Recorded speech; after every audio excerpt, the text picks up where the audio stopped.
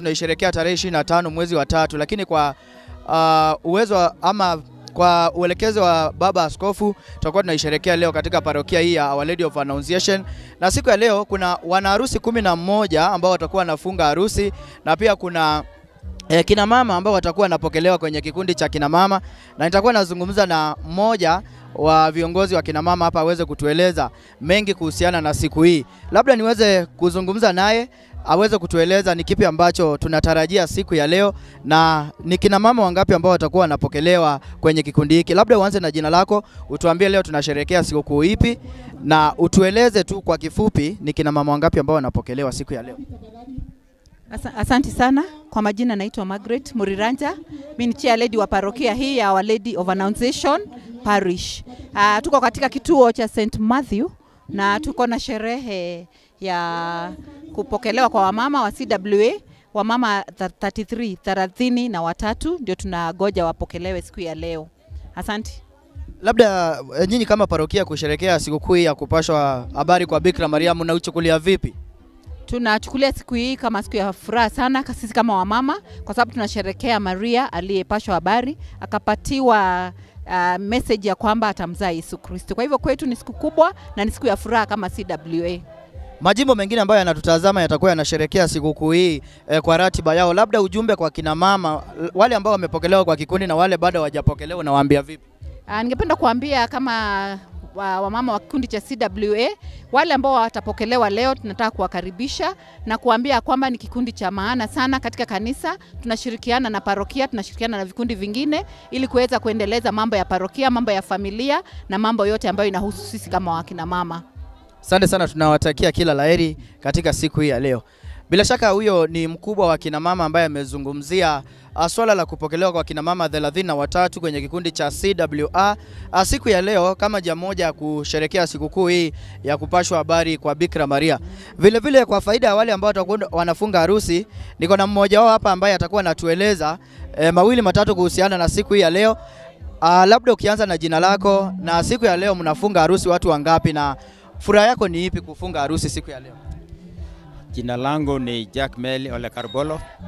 Mimi ni mmoja wa maharusi wale ambao wanafanya siku ya leo, na tuko couples kumi na moja, na leo ni siku kubwa sana kwetu, kwa vile unajua ni njia moja ya kuimarisha imani yetu na kujaribu kuimarisha familia zetu.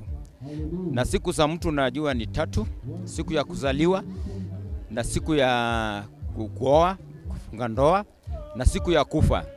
Na hizo zingine mbili kwa kawaida huwa tusherekei, tunasherekea hii. Kwa hivyo ni kwetu sisi ni siku kubwa sana na ya muhimu sana, na ndio tunasherekea na tunafurahia kuifanyisha. Labda kuna watu wanapenda kusema kwamba ndoa ya pamoja labda haina ule utamu, watu wanataka kujitayarisha na wanachukua muda mrefu sana. Nyinyi mnafunga harusi kwa pamoja kama watu kumi na mmoja, inaleta ujumbe upi? Ndoa ni ndoa na sakramenti ndio kitu cha muhimu sana. Ndoa ya pamoja na ndoa ya mtu kibinafsi yake haina utofauti. Ukifika ni wakati wa sakramenti inakuwa ni sawa, na tukitoka hapa tuko na reception zetu tofauti, na kwa hivyo haitakuwa na utofauti. Kufunganishwa, tutafunganishwa vizuri, tutawapa vizuri, tutaweka pete, then tutaondoka kwenda kusherekea kawaida kama tu harusi ya mtu binafsi. Asante sana, tunawapa kongole sana wale ambao mnafunga harusi siku ya leo. Asante. Asante. Kwa hivyo tumeweza kusikia kwa mmoja wa wale ambao wanafunga harusi siku ya leo. Baba Askofu wa jimbo letu la Nakuru Cleophas Oseso atakuwa anaongoza misa hii. Matayarisho ya misa yanaendelea, harusi kumi na moja na pia wana akina mama thelathini na watatu ambao watapokelewa kwenye kikundi hiki. Itakuwa nashirikiana na mwenzangu eh, Kelvin Maroko na David Mutaka eh, na pale studioni kupitia Radio Amani, misa hii itakuwa inakukujia moja kwa moja. Kwa hivyo asante sana kwa wote ambao wamejumuika nasi asubuhi ya leo tunapoadhimisha sikukuu ya kupashwa habari kwa Bikira Maria. Tunaita kwa lugha ya Kimombo the Annunciation of the Lord, na tutakuwa tunakuletea misa hii muda usiokuwa mrefu. Nikiangalia upande wa pili, matayarisho yanaendelea kunoga. Eh, kwaya itakuwa ina hakisha kwamba inatutumbuiza na nyimbo, kina mama pia, PMC, youth na pia wale ambao wanasaidia wale ambao wanafunga harusi siku ya leo. Kwa hivyo tunakuomba uwe nasi kuanzia mwanzo hadi mwisho tunapokuwa tunakuletea misa hii. Mimi naitwa Niko Kialo na kutakia uh, utazamaji na usikilizaji mwema wa misa hii.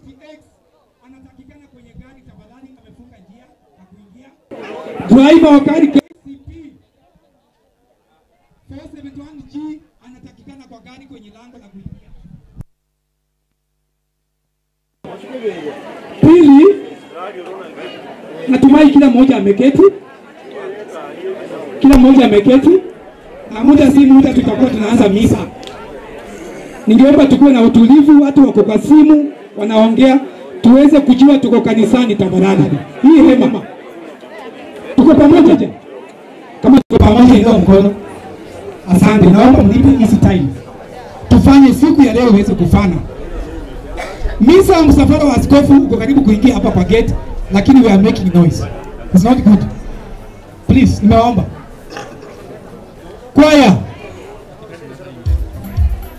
tafadhali.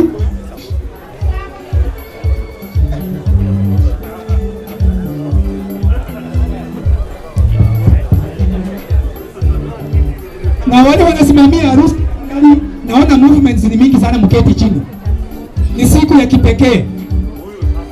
Tafadhali, the men in uniform, naomba muweze kuketi. Naambia mzee Faragu na company, mketi chini tafadhali. Nataka order ianzie kwa kwaya mpaka hivi. I'm finding hard time.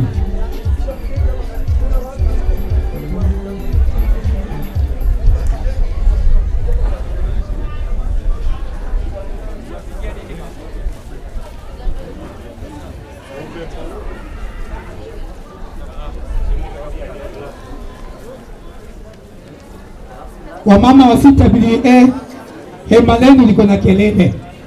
Wamama wa sita BA wenye kwa hema lenu liko na kelele kama nasikika.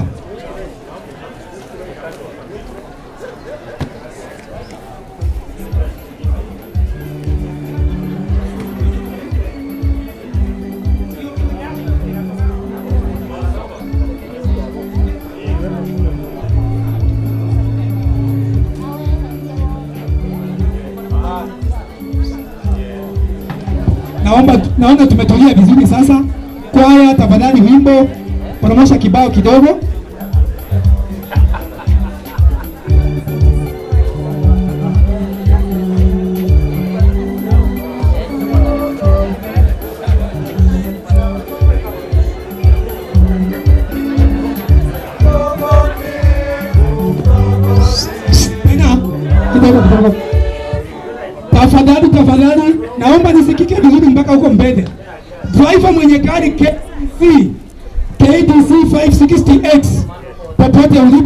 Uchongee hapa. Driver wa 471G, naomba uweze kuchongea hapa tafadhali, kwa hisani na kwa haraka.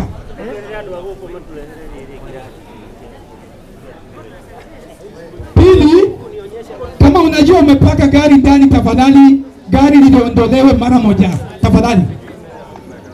Ikiwa umeketi na gari lako liko ndani, tafadhali uweze kuliondoa, uweze kuweka nje. Naomba tufanye hivyo kwa haraka tafadhali.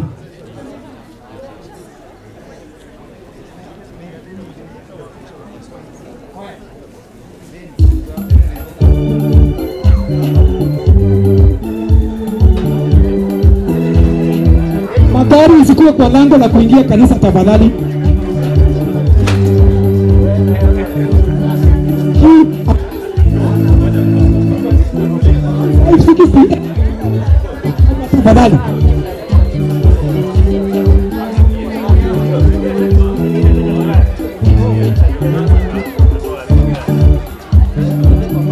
Tafadhali, tuingie tuketi viti, sitaki kuona watu kwa lango tafadhali.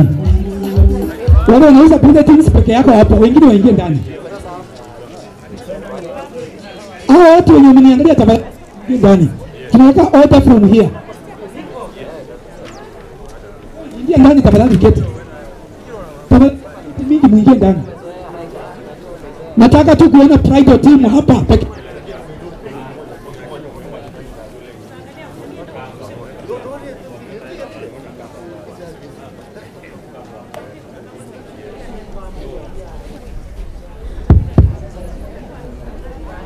Tafadhali, tafadhali wenye magari ambayo nimeta mara tatu, tafadhali hao wenye magari wako hapa, tafadhali nimetangaza tayari. KTC, tayari, KCP. Drivers, where are you?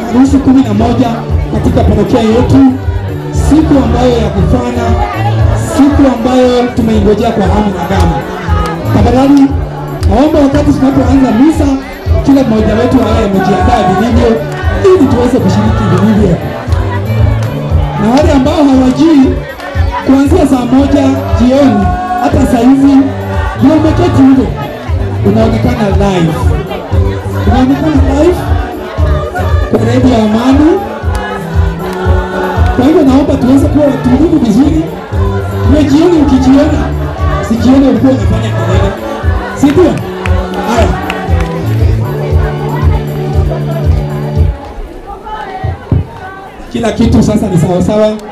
Naona muda si muda, msafara wa askofu utakuwa unaingia. Kwa hivyo naomba kila mmoja popote ambapo umeketi tuweze kuwa na utulivu. Nimefahamishwa gari KDC ni ajeni Jeni Ndumu, tafadhali uweze kuheshimu ufike kwenye gari lako tafadhali. Hayo magari yaweze kuondolewa nje. Kama gari yako iko kwa compound, tafadhali naomba tufanye hima kaweze kuondoa gari nje yako kwa lango la kanisa na inafunga njia ya kuingia.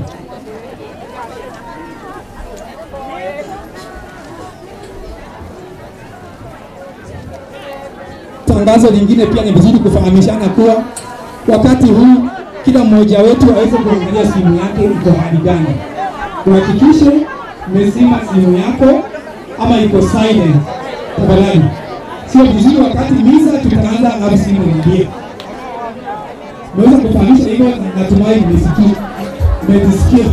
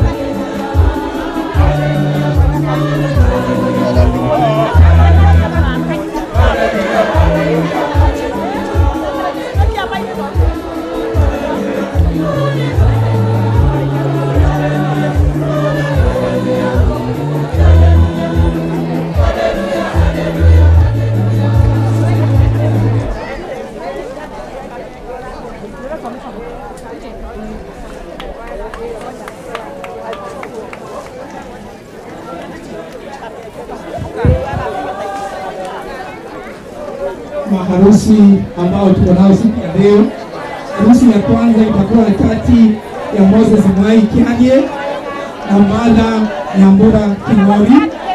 Wa pili Jack Meli Ole Kagoro na Jacinda Wairimu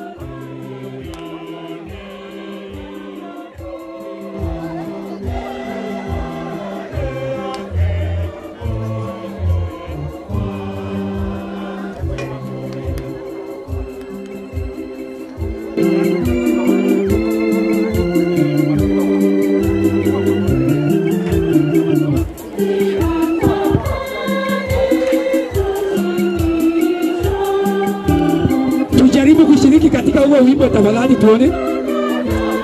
Wakristo tujaribu kushiriki katika huo wimbo tafadhali.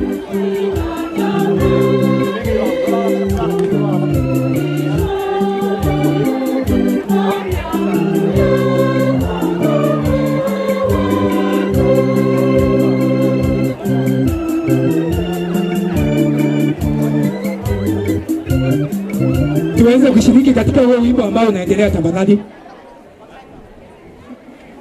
Tuomba tuweze kuwa na hali tulivu, hali ya tayari kuanza misa takatifu ya siku ya leo, siku ambayo ni muhimu sana katika parokia yetu na mama aliyepashwa habari, tunapomsherehekea somo wetu ambaye ni mama aliyepashwa habari, Mama Maria, tarehe 23 mwezi wa tatu, na pia tuko na maharusi kumi na moja ambao wanafunga ndoa, wanahalalisha ndoa zao siku ya leo. Pia utafahamu kuwa leo ni siku ya Baba Askofu Mashamo Waseso kuweza kufika katika parokia hii siku mara ya kwanza kabisa.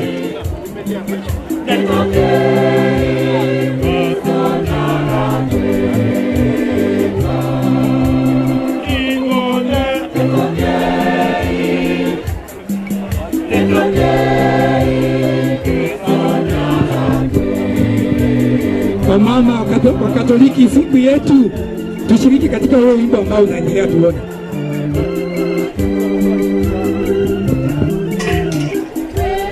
Gari yatolewe ije tafadhali.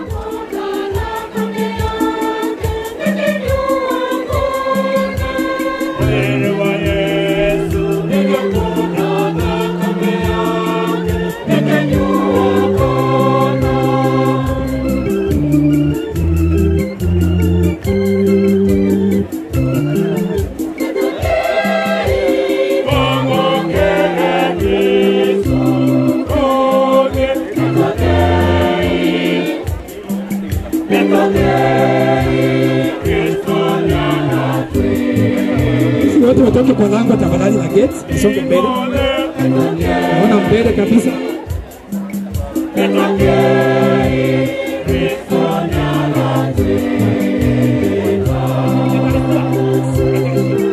Eh, tutoke kwa gate tafadhali.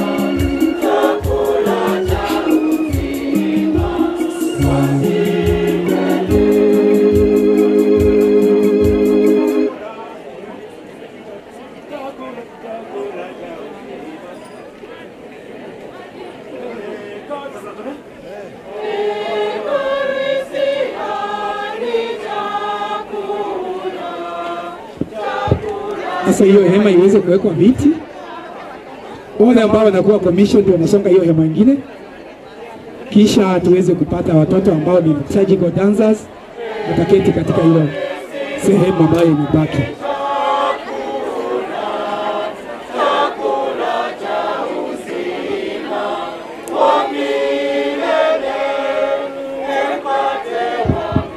Mwalimu kama uweze kuchukua nafasi, uketi chini, wewe ndio ni bwana harusi. Naomba uketi chini tafadhali, hiyo movement. Wale maharusi tafadhali, tukue wangwana, tupaki tumetulia. Ni siku yenu leo, sio kwa ya master. Tafadhali pena uchukue ushukani kabisa. Simu zenu ni vizuri zizime, hiyo kinanda ni hiyo pitch patiana.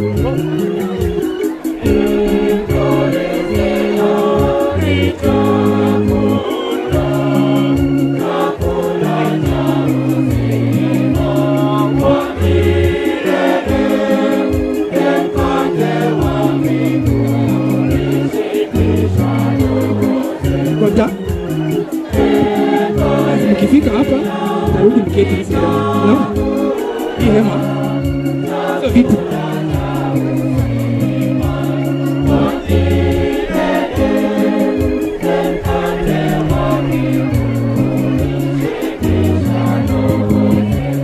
Mtoto Blessing Njeri tafadhali anatakikana hapa mbele. Blessing Njeri anatakikana hapa mbele.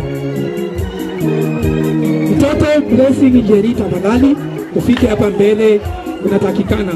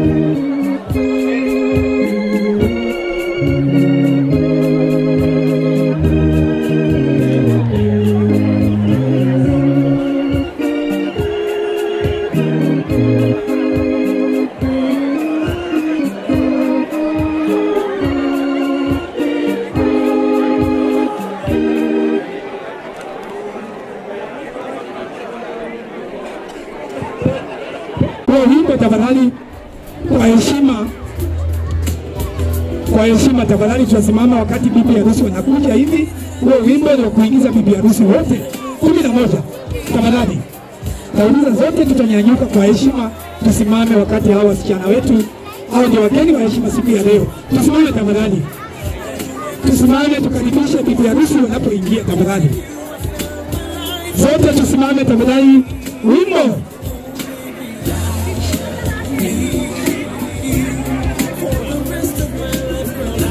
Tusimame wote bila kuongea tafadhali.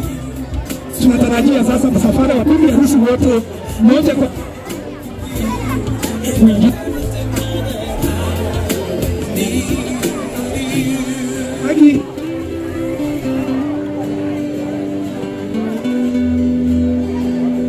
Tafadhali tuwe na utulivu, hali ya kuweza kuanza misa sasa.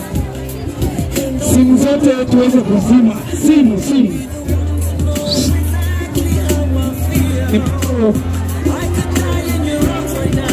Kibao maridadi kabisa na kuleta bibi harusi. Kwa mama tusimame tafadhali, tunakaribisha bibi harusi wanaingia.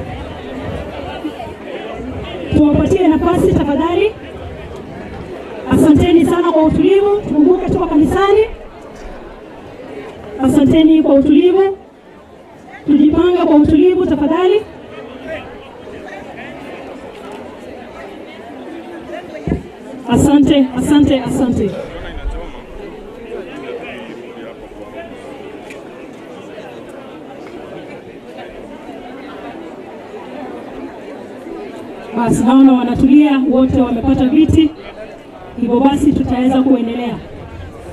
Kama wewe uko kwa ile tenti ya wanaharusi na wewe unajua hauoi wala kuolewa, wewe sio mzazi wao ama msimamizi wa mmoja wao, tafadhali wapatie nafasi tafadhali wapatie nafasi. Asante. Asante kwa utulivu. Akina mama, naona tenti yetu tumetulia vizuri, hakuna kelele.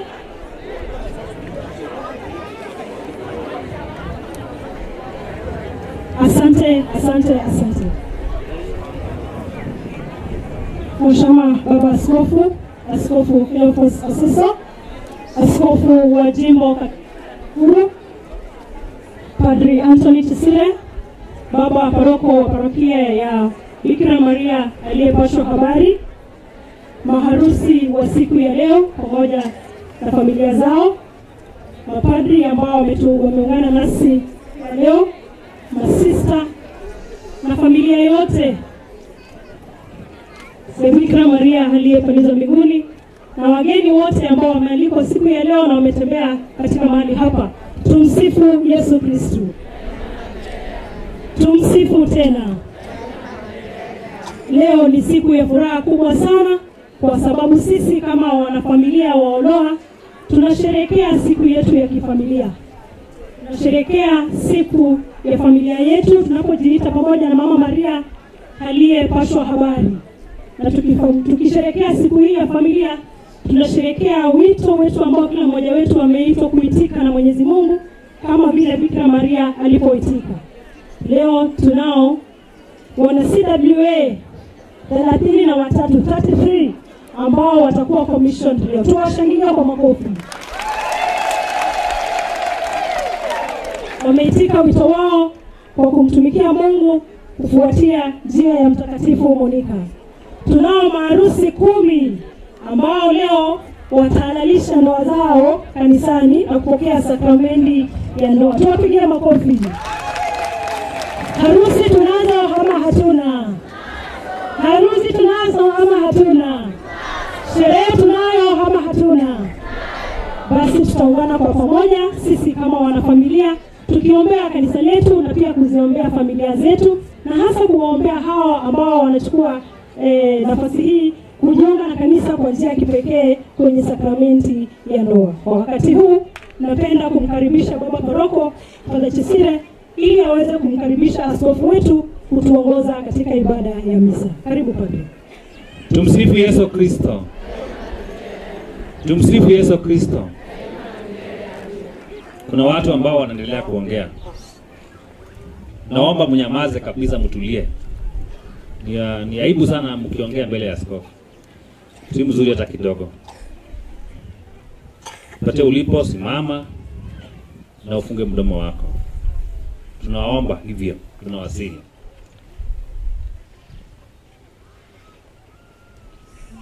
Basi nachukua nafasi hii kumkaribisha baba askofu wa jimbo Katoliki na Nakuru. Ni mara yake ya, ya, ya pili, si ya kwanza. Amekuwa padri wa jimbo letu la Katoliki na Nakuru. Amekuwa katika katika parokia hii ya Naivasha na Mungu ameweza kumteua awe miongoni mwetu kama padri mkuu, askofu wetu, na anakuja mara ya kwanza kama askofu katika parokia yetu.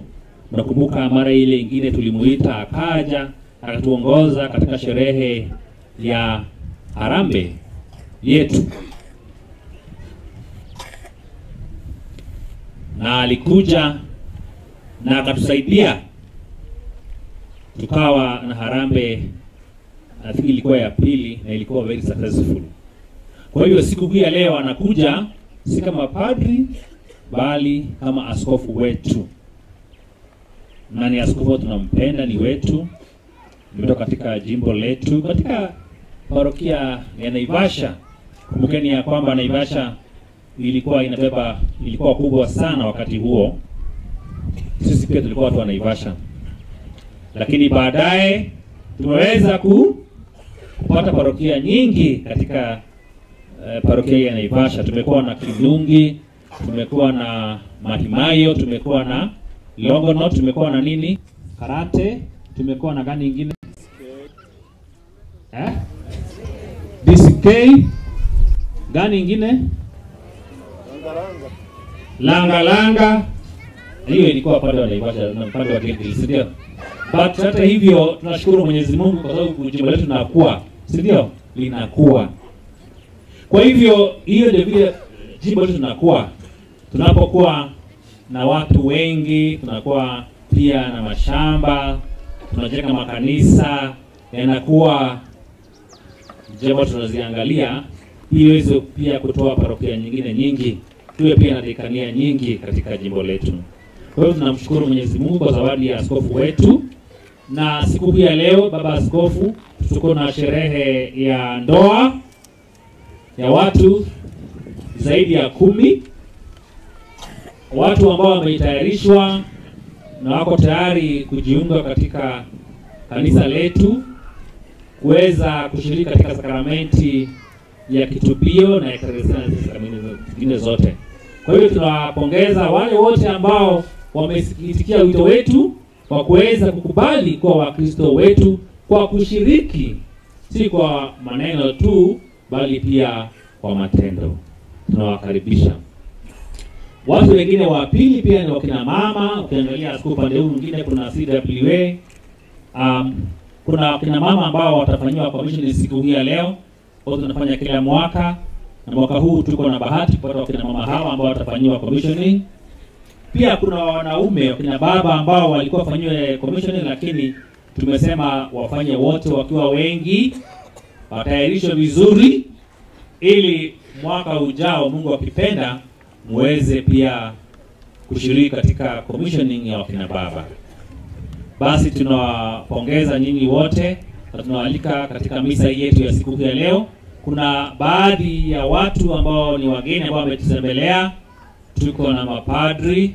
Unajua Father Patrick ni padri wetu, um, anafanya kazi katika jimbo letu, lakini anafanya kazi hapa the Franciscan Missionaries of Hope, na yeye ni liturgist, mmeona hapo mbele, anafanya kazi mzuri, tunamshukuru, tunampongeza. Pia tuna padri amekuja pia mara mingi hapa, Father Joseph Warado, mnamfahamu vizuri, si amekuja katika katika kanisa zetu.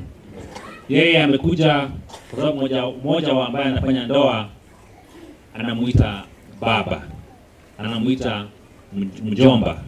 Kwa hiyo amekuja hapa kwa sababu ya hiyo. Kuna mwingine alikuwa anakuja, mwingine atakuja baadaye, lakini tunawakaribisha wote katika sherehe yetu ya siku ya leo. Baba Askofu, karibu katika parokia yetu, tunakupenda. Njoo utu, utu, utuongoze katika misa yetu ya siku ya leo, na Mungu akubariki. Tusimame wote kwa misa.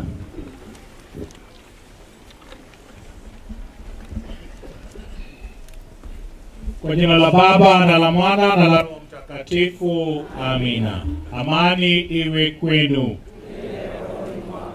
Karibuni ndugu na dada zangu kwa ibada takatifu hii ya misa. Leo hii tunaposherekea sikukuu hii ya kupashwa habari Bikira Maria kwamba atakuwa mama wa mkombozi. Yeye alikubali jukumu hilo, na leo pia kati yetu kuna wale wanakubali kuingia katika sakramenti hiyo ya ndoa, na wale kina mama pia wanaingia rasmi pia katika kikundi cha kina mama. Tuombe wote waimarishwe na wapewe neema wanazohitaji, wakaendelea kuishi wito wao wa Ukristu, kumfuasa Yesu Kristu kila siku. Basi tujitayarishe kwa dhambi zetu ili tujiweke tayari kutoa sadaka takatifu.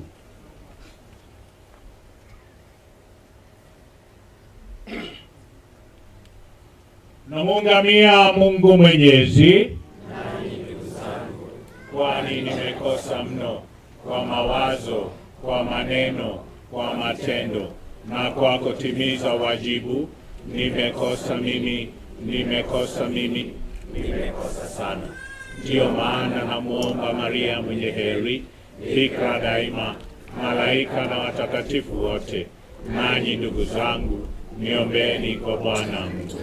Mungu Mwenyezi atuhurumie, atusamehe dhambi zetu na atufikishe kwenye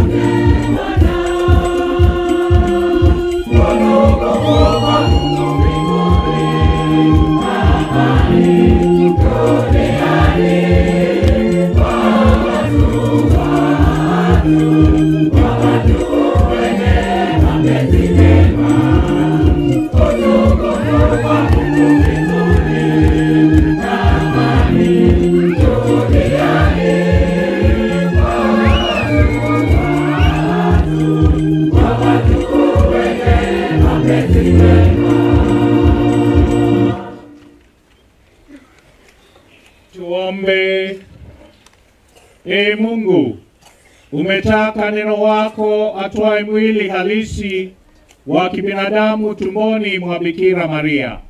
Tunakuomba tujalie ili sisi pia tunaoungama kwamba Mwokozi wetu ni Mungu na mtu, tustahili kushiriki umungu wake, anayeishi na kutawala nawe katika umoja wa Roho Mtakatifu, Mungu daima na milele.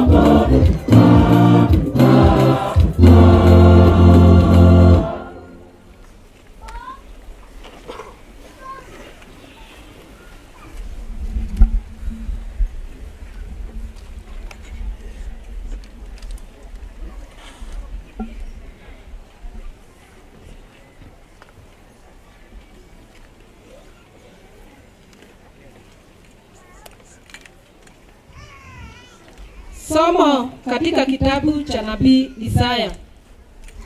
Siku zile Bwana alimwambia Ahazi maneno haya: jitakie ishara kwa Bwana Mungu wako, iwe kama kuzimuni chini au agani juu.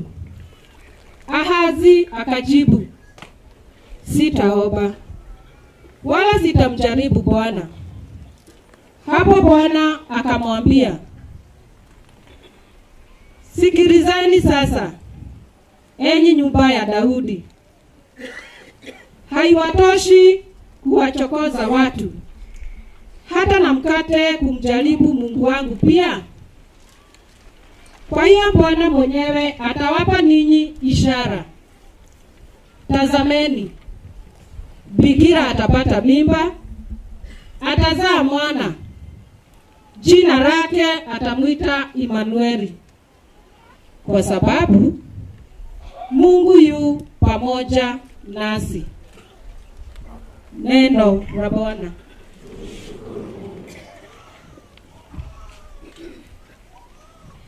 Zaburi ya kuitikizana. Tazama, nimekuja kuyafanya mapenzi yako, e Bwana. Tazama, nimekuja kuyafanya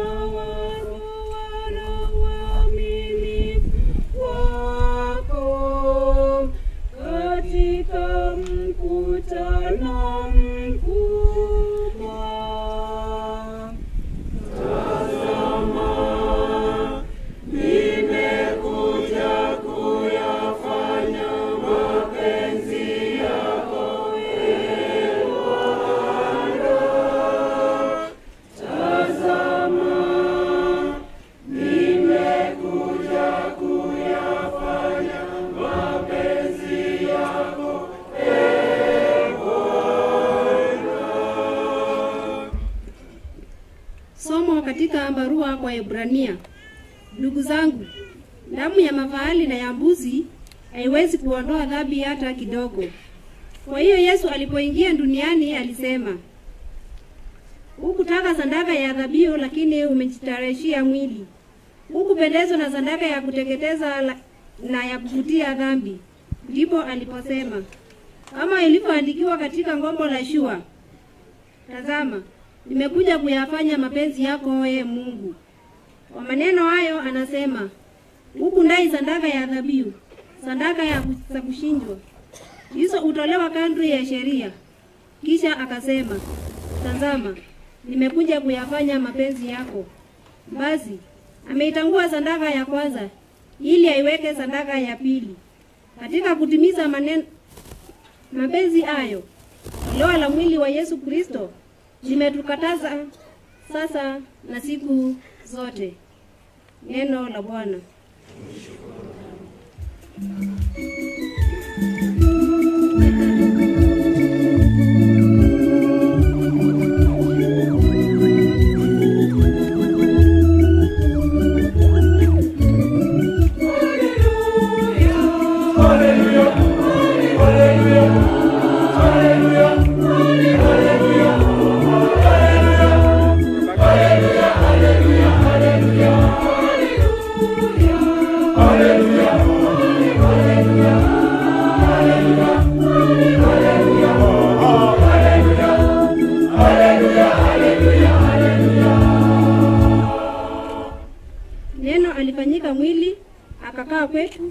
Nasi tumeona utukufu wake.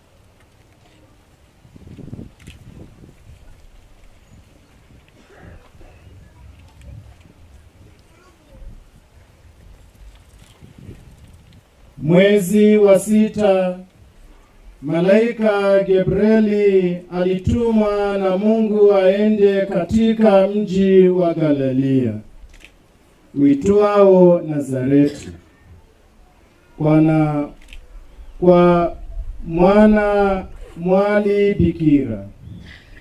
Mchumba wa mtu jina lake Yosefu wa yumba ya Daudi na jina la huyo bikira lilikuwa Maria. Na malaika akaingia kwake akasema, salamu uliyejaa neema, Bwana yu nawe. Naye akastuka kwa sababu ya maneno hayo na akaanza maana ya mamkia hayo. Malaika akamwambia, usiogope Maria, kwa maana umebarikiwa na Mungu. Tazama, utachukua mimba na kumzaa mwana, na utampa jina Yesu. Huyo ata, atakuwa mkubwa na kuitwa mwana wa aliyo juu, na Bwana Mungu atampa kiti cha enzi cha Daudi baba yake. Ata ataitawala yumba ya Yakobo hata milele, na utawala wake hautakuwa na mwisho. Maria akamwambia malaika, litakuwaje neno hili, maana sijui mume? Malaika akamjibu akasema, Roho Mtakatifu atakushikia na nguvu ya yule aliyo juu itakufanika kwa kivuli chake. Kwa hiyo kitakatifu kitakachozaliwa kitaitwa mwana wa Mungu. Hata jamaa yako Elizabeti amepata mimba ya mtoto mwanaume katika uzee wake, na, hu, na huu ni mwezi wake wa sita kwa yeye aliyeitwa tasa, kwa maana hakuna neno lisilowezekana kwa Mungu. Maria akasema, tazama, mimi ni mtumishi wa Bwana, nitendewe ulivyonena. Kisha malaika akamwacha akaenda zake. Injili ya Bwana.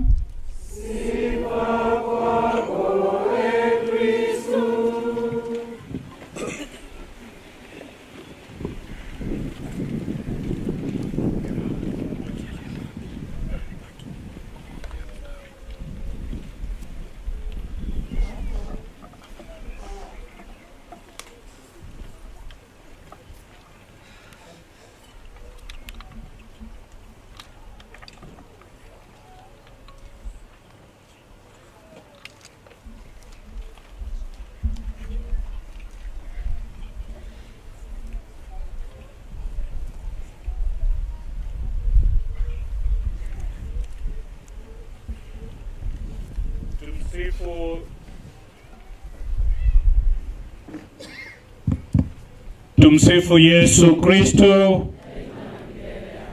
Tumsifu Yesu Kristo tena.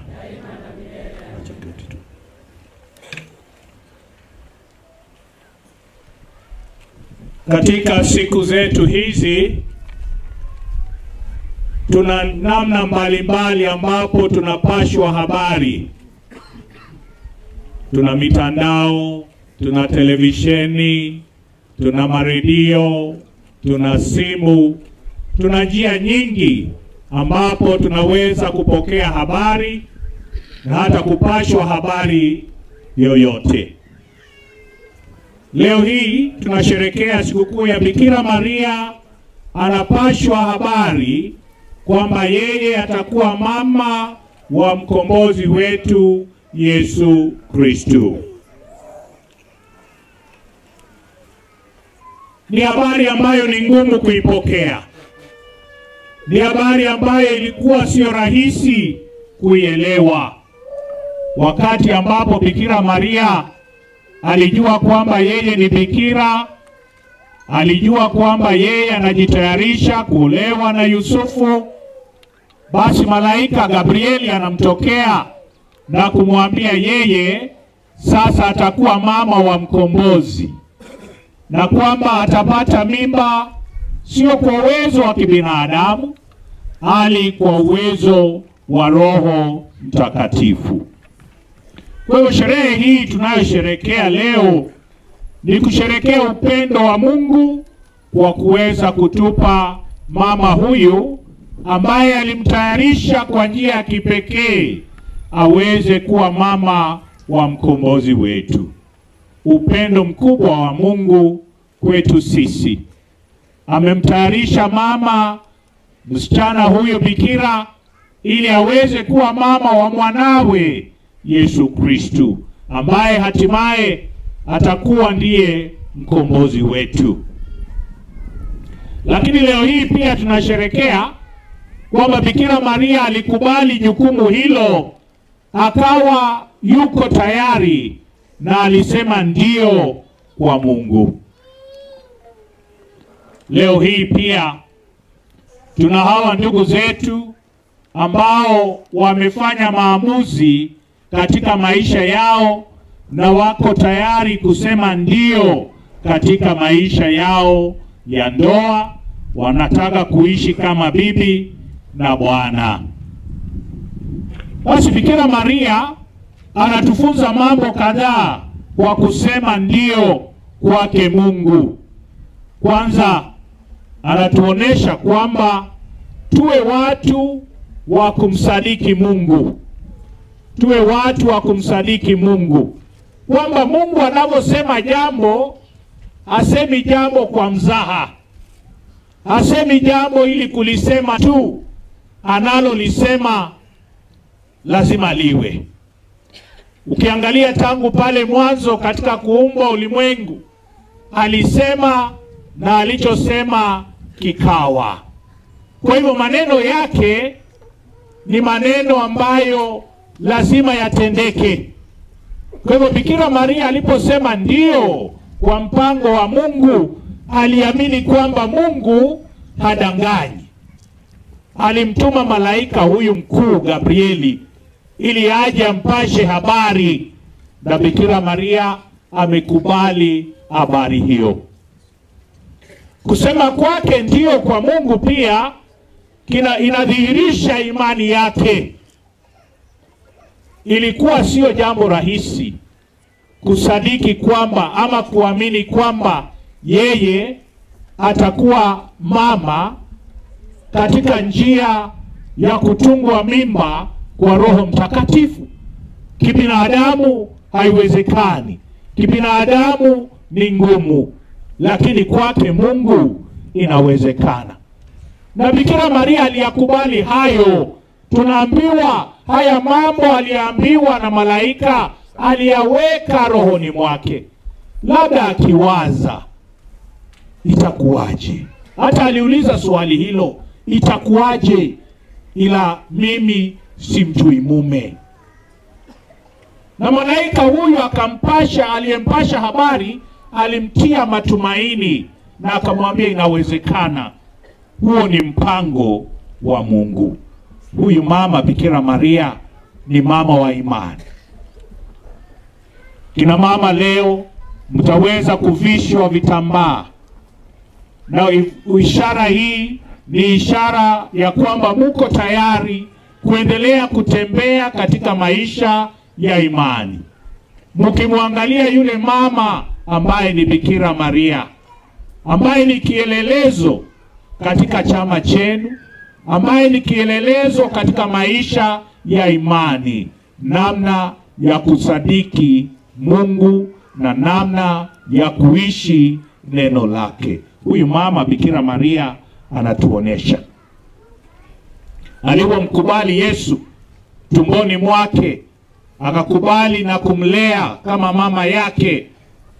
Majukumu ambayo nyinyi mmepewa pia ni majukumu kama yale yale ya kuendelea kutunza imani katika maisha yenu na kutunza imani katika familia zenu. Muwe kina mama wa imani, sio tu kina mama wa kuvaa vitambaa eh? Wakati mwingine tunataka tu tuvae vitambaa, lakini pale rohoni mwetu hamna kitu. Kitambaa hicho kiwe dhihirisho ya maisha yako ya imani na jinsi ambavyo unataka kutembea pamoja na Kristu katika imani yako kama mama Mkatoliki. Huyu Bikira Maria alivyosema ndio kwa Mungu, ilikuwa ni namna nyingine ya kujitoa. Amejinyima hali zote za kibinadamu, amekubali sasa kutumiwa na Mungu katika mpango wake. Ni mara ngapi sisi tunakubali kutumiwa na Mungu katika mipango yake? Labda kama ni wewe ama mimi, tungeuliza maswali. Kama Mungu anataka kututumia katika mpango wake, tungemuuliza na atatuoneshe jinsi ambavyo haiwezekani, jinsi ambavyo haiwezekani. Lakini huyu mama alikubali kuwa mshirika katika mpango wake Mungu. Ni mama pia ambaye ametuonesha namna ya kuwa watiifu. Alisema, wacha iwe na iwe kama ulivyonena. Alimwambia malaika hivyo, na iwe jinsi ambavyo Mungu anataka, ishara kwamba ako tayari, ako tayari kutumiwa na Mungu, kwamba katika njia yake apatikane mkombozi Yesu Kristu, ambaye Mungu anamlete kati yetu, aweze kuwa yule wa kutuondoa katika dhambi na kutulete katika ushirika mpya pamoja naye. Kwa hivyo sikukuu hii ambayo tunaisherekea ya Bikira Maria kupashwa habari, tunaona mama huyu ambaye amejiweka wazi na yuko tayari kutumiwa na Kristu katika kutumiwa na Mungu katika njia zake. Leo hii tuna hawa ndugu zetu hizi familia kumi ambayo pia wamesema leo wanataka kuja kusema ndio katika maisha ya ndoa. Wanakuja kusema ndio katika maisha ya ndoa, na wametualika ili tuweze kushiriki pamoja nao katika furaha hii. Ni wazi kwamba maisha ya ndoa sio maisha rahisi, ni magumu, lakini licha ya hayo yote wamekuja na bado wako tayari kushiriki pamoja katika hayo magumu na hata katika furaha nyingi zilizo katika maisha ya ndoa. Ndio sababu wanakuja kusema yes, niko tayari, ndio nataka.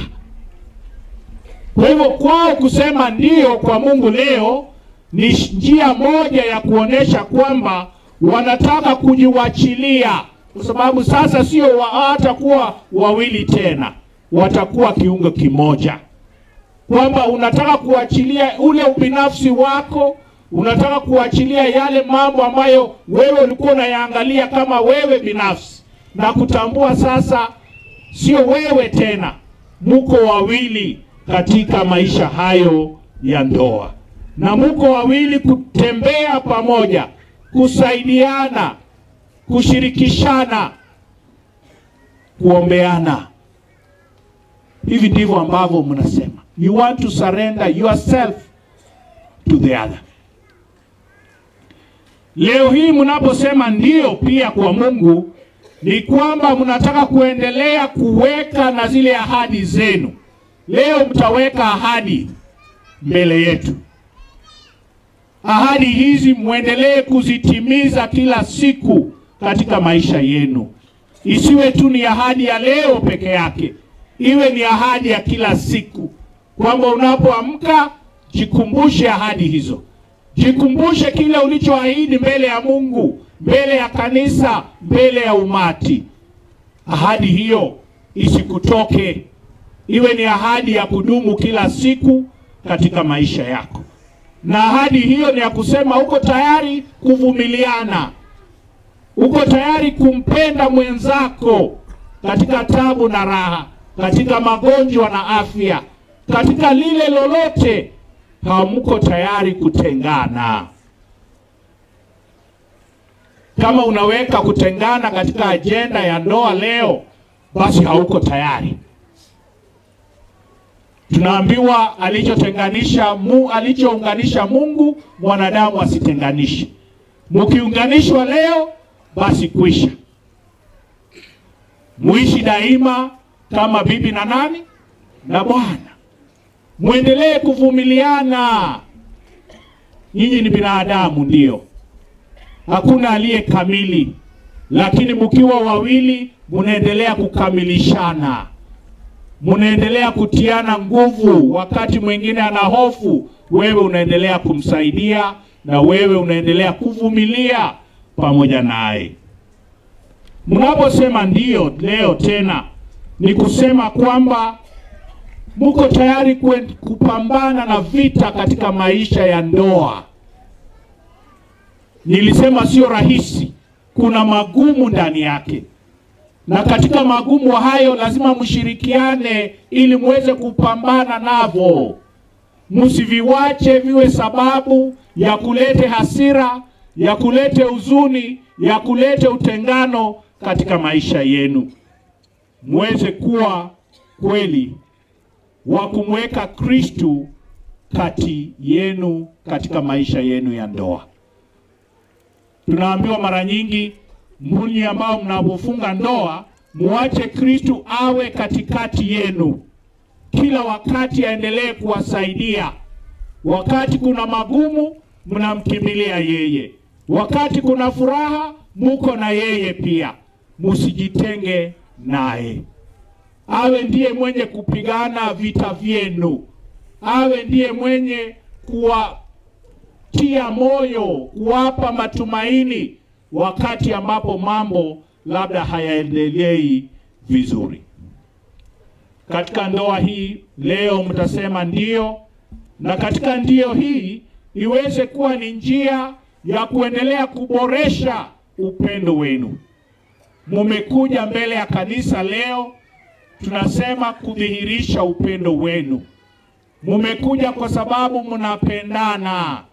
Kuna kitu ambacho umeona ndani ya mwingine amna, ambacho unaona ni kitu bora, hiyo ambayo imeleta upendo ndani yenu, kiendelee kudumishwa, mwendelee kukifanya kinawiri na kisitawi, ili kiweze kuleta furaha katika ndoa yenu. Tutawaombea, tutawasaidieni, lakini mzigo mkubwa na kazi kubwa iko kwenu, kwamba kila siku katika maisha yenu ya ndoa muweze kuendelea kuifanya ikue bora hata zaidi, iweze kuwa ndoa yenye kuwaletea nyinyi furaha, iweze kuwa ndoa iliyojengwa chini ya msingi wa imani. Mama Bikira Maria ametuonesha namna ya kuweka imani katika Mungu. Hata wakati mambo yanaonekana ni magumu, ni mazito, labda hata hayawezekani, ukimweka Kristu mbele inawezekana. Ndoa pia ina changamoto zake, na mara nyingi ndoa nyingi zimeharibika kwa sababu watu hawako tayari kukabiliana na changamoto hizi zinapokuja. Hamutaziweza peke yenu, lakini mtaziweza tu mkiwa na Kristo upande wenu na mkiwa pamoja na Kristo kila wakati. Ndio sababu mmekuja kufanya ndoa hii kanisani, hamukuenda kuifanya kwa registrar, mulikuja kuifanya kanisani kwa sababu mnatambua kwamba kwa neema za Mungu yeye ataendelea kuwatia nguvu mnazohitaji. Kwa upendo wa Mungu, yeye ataendelea kuboresha ndoa hizi na kuzitia ziwe nzuri za kulete furaha katika maisha yenu hapa duniani. Tumeombwa na mama kanisa siku hizi tuweze kuombea ndoa, tuweze kuombea maisha ya ndoa, kwa sababu maisha ya ndoa yako hatarini, na maisha ya ndoa yako hatarini kwa sababu ya mambo mapya ambayo ama mafundisho mapya yanayokuja katika enzi zetu hizi. Tumefunzwa na neno la Mungu kwamba familia, bibi na bwana, maisha ya ndoa ni ya watu wawili, mwanamume na mwanamke. Kijana atamwacha baba yake na mama yake, na msichana pia atamwacha baba yake na mama yake, na hao wawili waje na wawe nini? Kitu kimoja. Lakini sasa siku hizi kuna wale walio na misimamo tofauti na wanasema upendo unaweza kuweko pia kati ya mume na mume, ama upendo unaweza kuwa kati ya mama na mama mwingine. Inawezekana? Inawezekana kweli? Haiwezekani. Inaenda kinyume ya sheria za Mungu, inaenda kinyume ya hata maadili ama tamaduni na njia zetu za Kiafrika, inaenda kinyume ya hayo. Kwa hivyo, wazazi walio katika ndoa, munahimizwa kuonyesha ubora wa maisha ya ndoa na kupinga hizo njia zingine ambazo zinaharibu ndoa. Haya mambo ni mambo ya kigeni, yanaletwa kwetu kupitia katika watu ambao labda sasa wanakuja na njia zingine za kupinga hata zile njia za Mungu. Zinakuja kwetu kutoka mitandao ambayo tunaiangalia, na wale walio na hizo filosofia zingine bovu wanazilete shuleni kwa watoto wetu, viko katika vitabu anavyovisoma, viko katika televisheni tunavyoviangalia kila wakati. Mtoto anasema anataka kuona cartoon na labda ina mambo ya kuonesha kwamba uhusiano wa jinsia moja ni sawasawa. Lazima tusimame imara na kutetea haki ya ndoa na kutendea usafi wa ndoa na kutendea, kutetea ubora wa ndoa jinsi ambavyo Mungu aliumba. Hakuna kizazi kinaweza kutokea kati ya mume na mume mwingine. Hakuna kizazi kinaweza kutokea kati ya mwanamke na mwanamke mwingine, hata wapendane vipi, hamna, kwa sababu inakiuka njia ambazo Mungu alituumba navyo. Kwa hivyo tuendelee kufunza mambo ya ubora wa familia. Wazazi, tuongee mambo ya familia.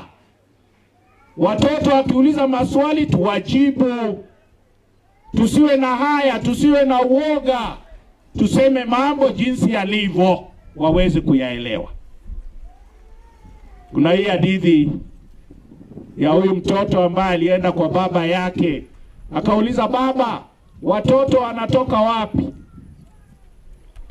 Baba akamwambia, unajua tangu mwanzo Mungu aliumba mtu mume na mtu mke, Adamu na Hawa, na hao Mungu akawabariki wakapata watoto, na kutoka hapo basi vizazi vimeendelea vikiongezeka, watu wameendelea wakizaana mpaka ikafika kwetu. Haya, mtoto akasikia ya baba, akakimbia kwa mama, akamuuliza mama, watoto hutoka wapi?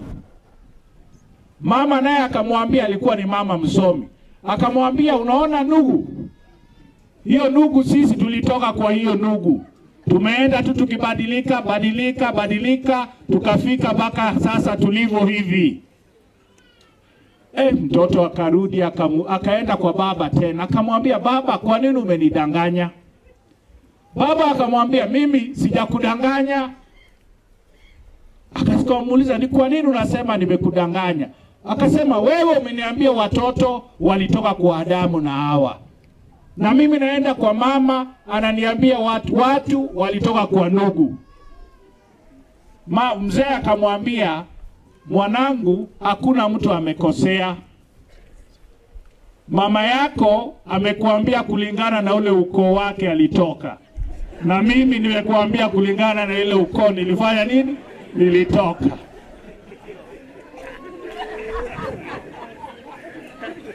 Tuwaonyeshe njia ambayo inastahili na tuongee haya mambo katika familia zetu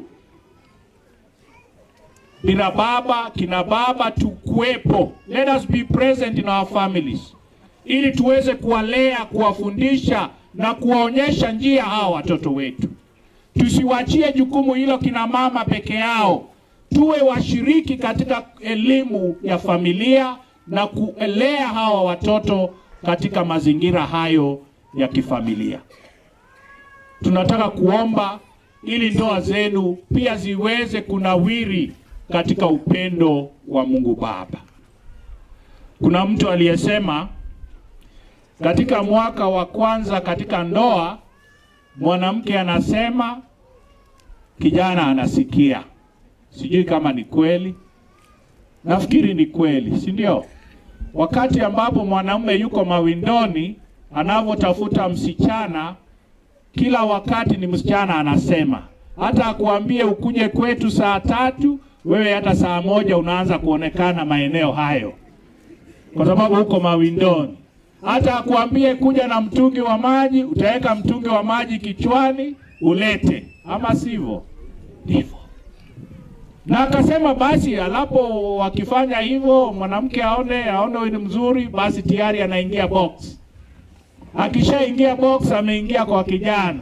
Sasa ni kijana anasema, msichana afanye nini? Asikize. Eh? Hiyo ni mwaka wa pili, huyo mtu alisema. Akasema mwaka wa tatu sasa, kila mmoja wao anaongea eh?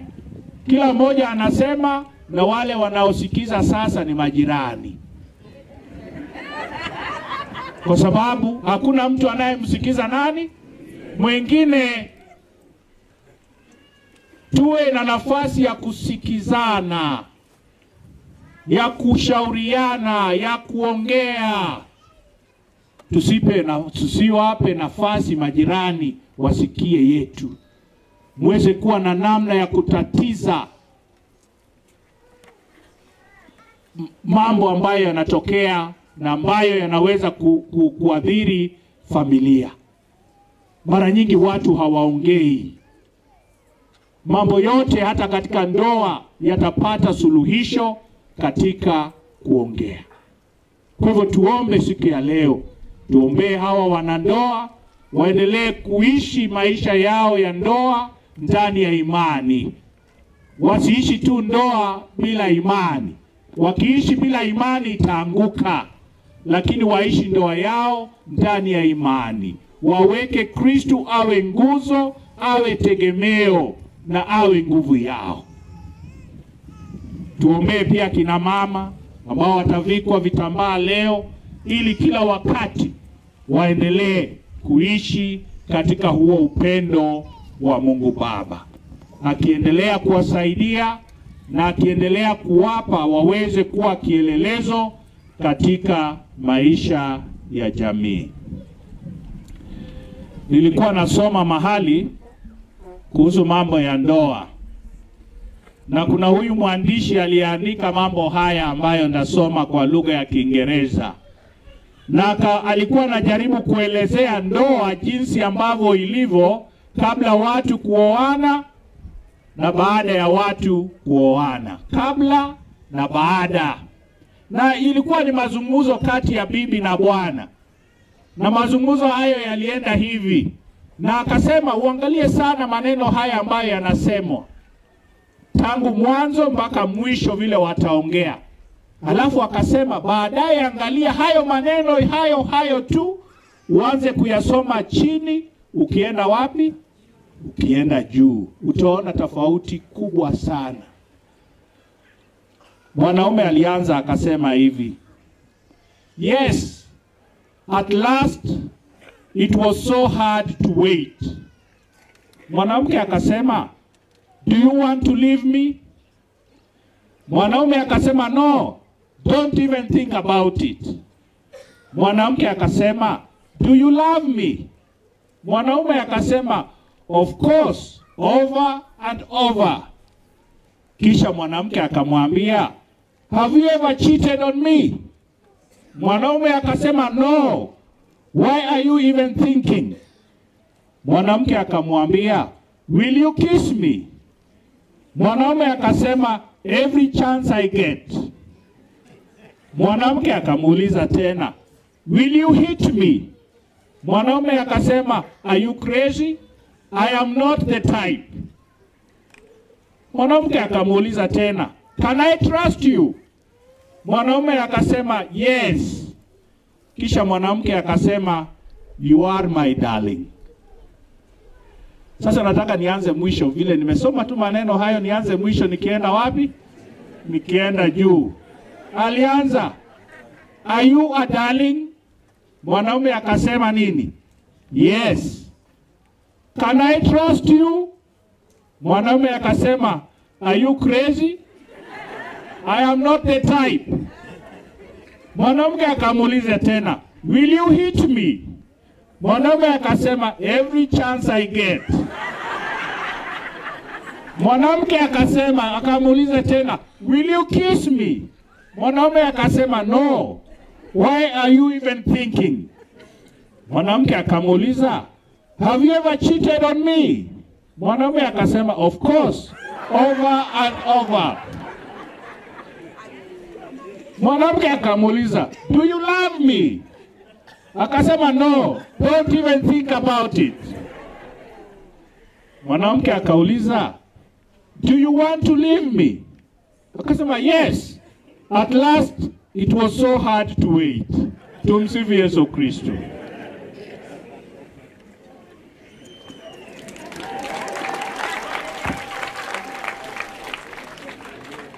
Asante sana baba askofu kwa maneno yako yenye hekima na busara. Wakristo, naomba tuchukue dakika mbili au tatu utafakari maneno hayo.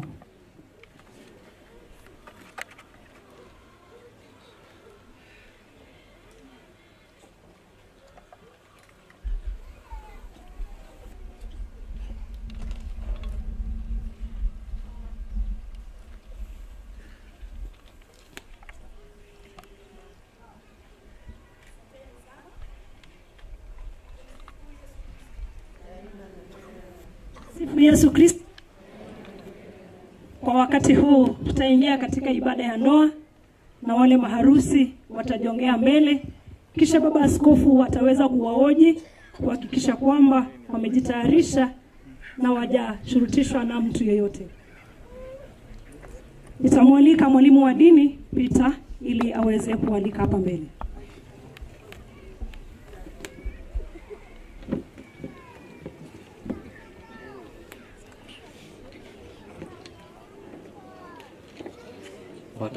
Watakaofunga ndoa siku ya leo ni Mr. and Mrs. Kihagi, waweze kujiongea hapa mbele.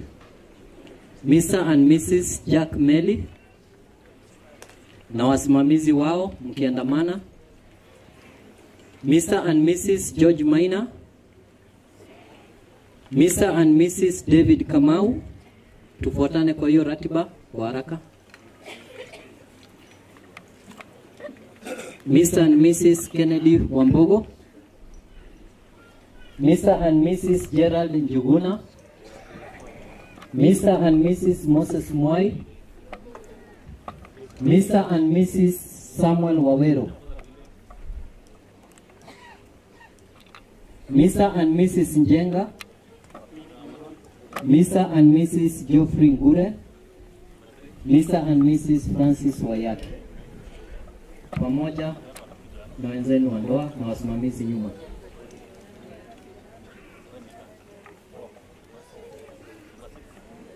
Wenzao wa ndoa waweze kujiunga nao tafadhali kwa wakati huu kwa haraka.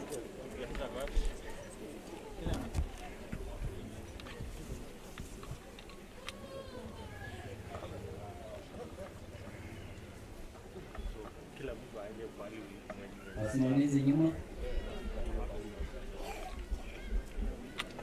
Asante.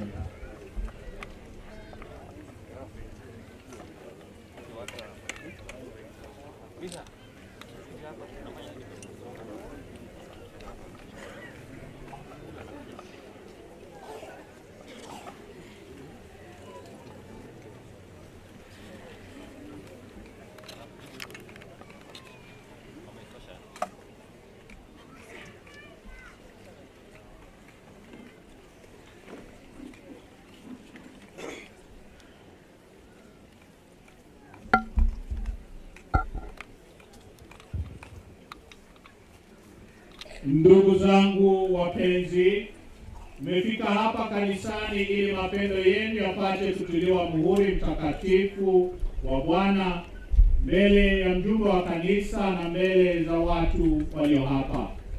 Kristo ana yabariki sana mapendo yenu, na kwa sakramenti hii ya kipekee anawaneemesha na kuwaimarisha hao waliokwisha takaswa kwa ubatizo mtakatifu, ili waweze kudumisha uaminifu kati yao na kutimiza shughuli nyingine za ndoa. Ndiyo maana na wahoji mbele ya kanisa juu ya nia yenu. Je, mmefika hapa kufunga ndoa pasipo shuruti wa hiari, yani kwa moyo safi? Je, mko tayari kuishi maisha ya ndoa, kupendana na kuheshimiana siku zote za maisha yenu? Je, mko tayari kuwapokea kwa mapendo watoto mliopewa na mtakaopewa na Mungu na kuwalea kama ilivyo sheria ya Kristo na kanisa?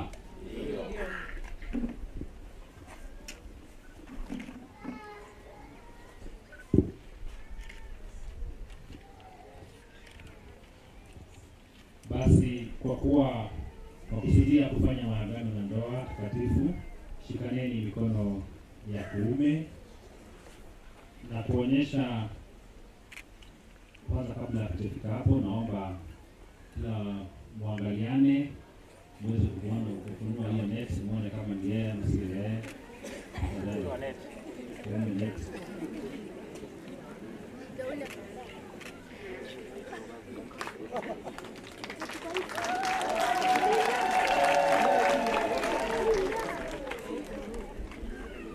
Shikaneni mkono wa kuume kuonyesha kukubaliana kwenu mbele ya Mungu na kanisa lake.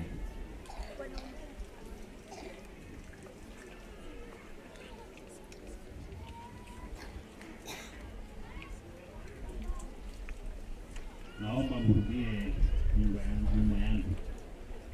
Naomba ongea na bwana harusi.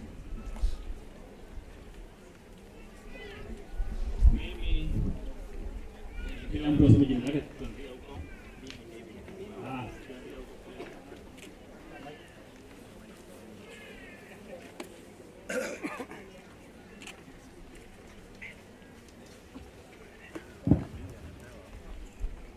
Mimi Peter Kihagi.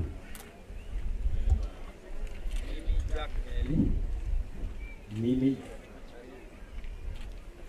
mimi David Kamau. Mimi Kennedy Muturi. Mimi Gerard Juguna. Mimi Moses Keri.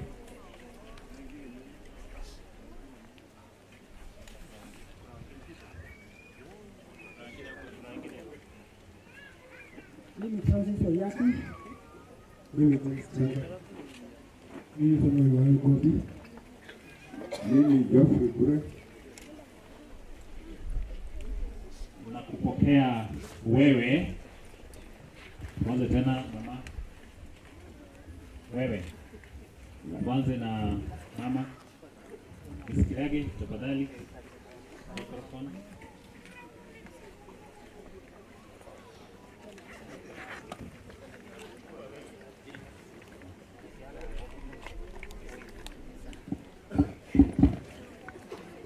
Lecho.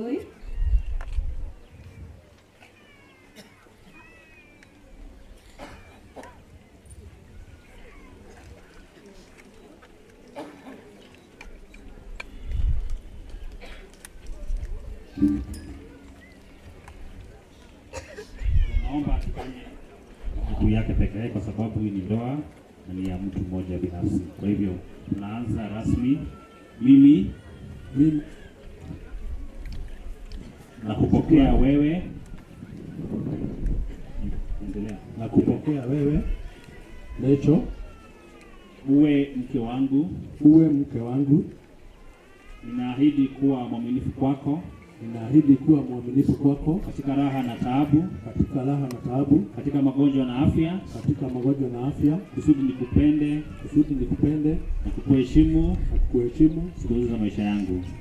za maisha yangu. Twende sasa kwa bibi harusi. Mimi nakupokea wewe uwe mume wangu, na ninaahidi kuwa mwaminifu kwako katika raha na taabu, katika raha na taabu, katika magonjwa na afya, kusudi nikupende na kukuheshimu siku zote za maisha yangu.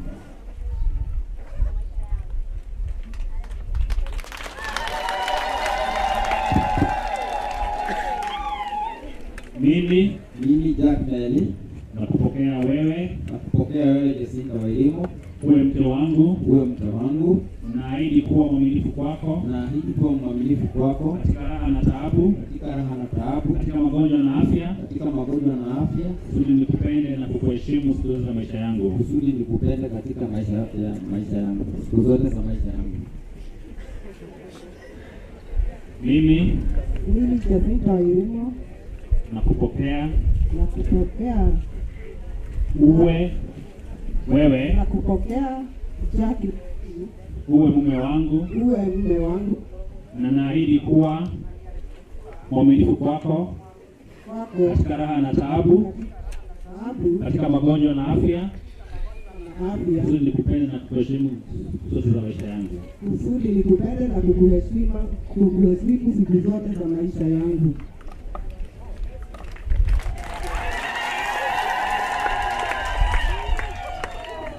Mimi. Mimi George Macharia Maina.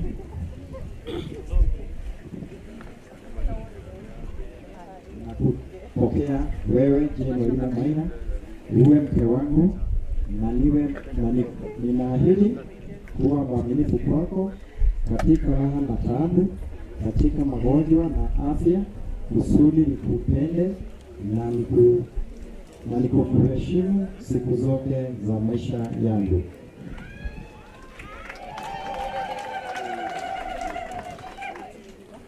Mimi tena ilivyo na kupokea wewe George Macharia uwe mume wangu, na ninaahidi kuwa mwaminifu kwako katika raha na tabu, katika magonjwa na afya, kusudi nikupende na kukuheshimu siku zote za maisha yangu.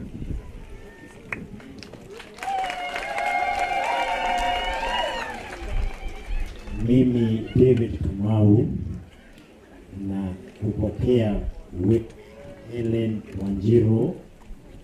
Uwe mke wangu, na ninaahidi kuwa mwaminifu kwako katika raha na taabu, katika magonjwa na afya, kusudi nikupende na kukuheshimu siku zote za maisha yangu.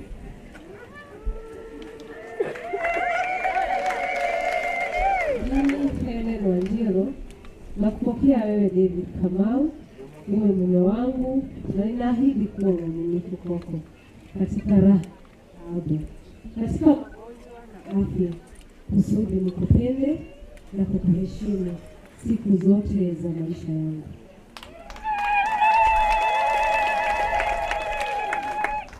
Mimi Kennedy Wambogo, wewe Veronica Wangoi, uwe mke wangu, hidi kuwa wako katika raha na afya, kusudi nikupende na kuheshimu siku zote za maisha yangu.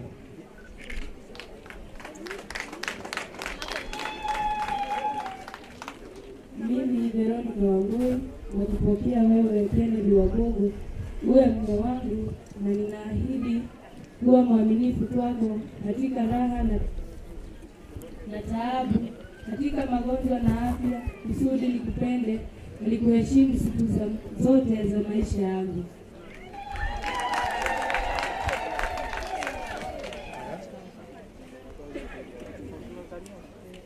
Mimi Vera Kuluma na kupokea wewe Bili Hawangoi mke wangu, na kuwa mwaminifu kwako katika raha na tabu, katika magonjwa na afya, kusudi nikupende na kukuheshimu siku zote za maisha yangu.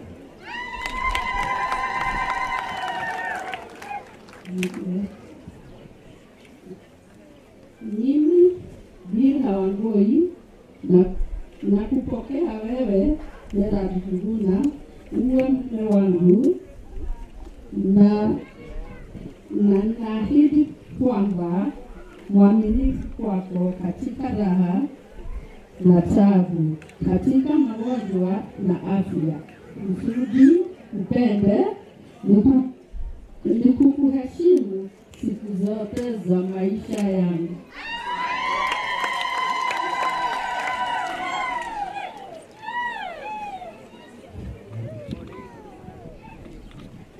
Mimi Moses nakupokea uwe Mungu nakupokea wewe Martha Nyambura uwe mke wangu, na ninaahidi kuwa mwaminifu kwako katika raha na taabu, katika magonjwa na afya, kusudi ni- nikupe- na kukuheshimu siku zote na maisha, zangu.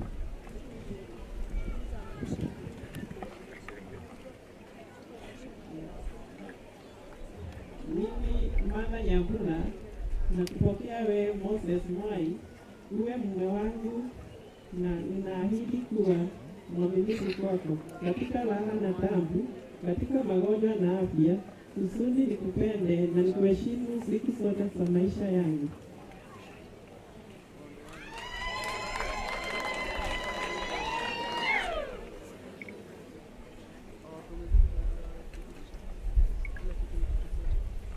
Mimi Francis Oyaki nakupokea wewe Salome Wanjiku uwe mke wangu na na ninaahidi kuwa mwaminifu kwako katika raha na tabu, katika magonjwa na afya, kusudi nikupende na nikuheshimu siku zote za maisha yangu.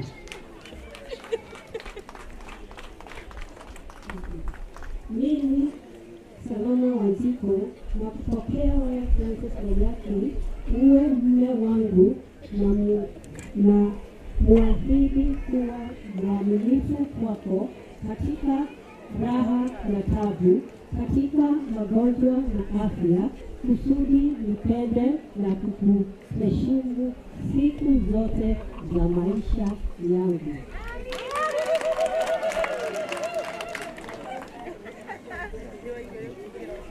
Ni James Cheng. Na- Nakupokea wewe Ines uwe mke wangu na na kuahidi kuwa ni mwaminifu kwa katika ndoa na katika raha na taabu, katika pamoja na afya, kus- kusudi nikupende na kuheshimu siku zote za maisha yangu. Mimi ni na kupokea wewe James Jenga uwe mume wangu na kuahidi kwamba na kuahidi kwamba nitakupenda katika raha na tabu, katika magonjwa na afya, kusudi nikupende na kukuheshimu siku zote za maisha yangu.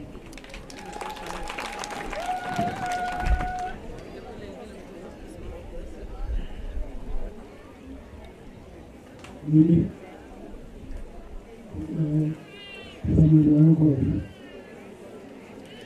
えー、ことである、えー、ことではなく、今のことである、長い日、長い日、長い日、長い日、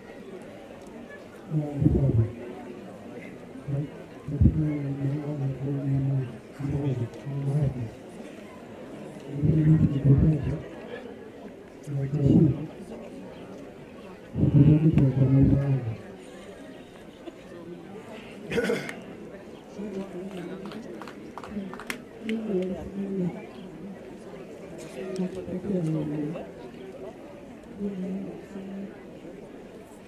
Samuel, Mary, Mary, Mary, Mary,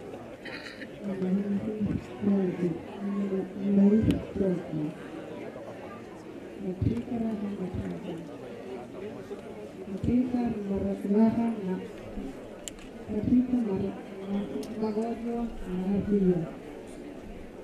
Usifunge, usifunge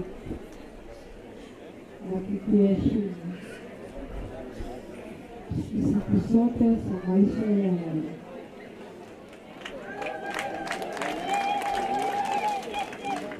Mimi Geoffrey Kure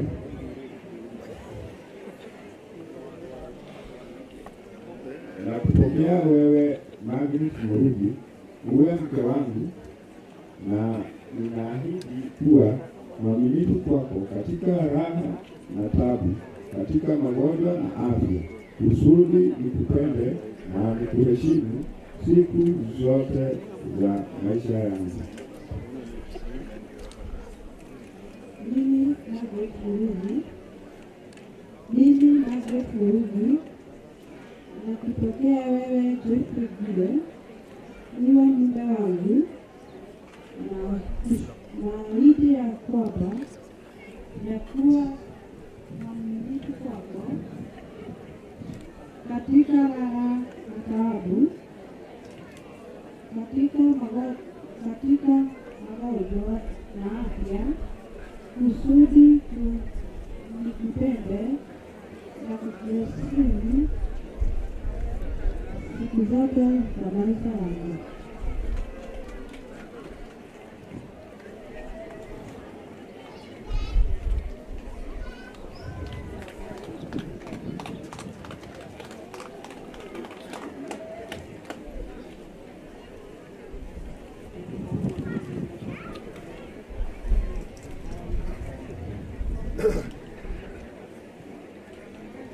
Ukubaliano wenu huo ulioonyesha mbele ya kanisa, Bwana na uthibitishe kwa wema wake, apende kuwazidishia wingi wa baraka zake, Aliyomwezesha Mungu mwanadamu asitenganishe.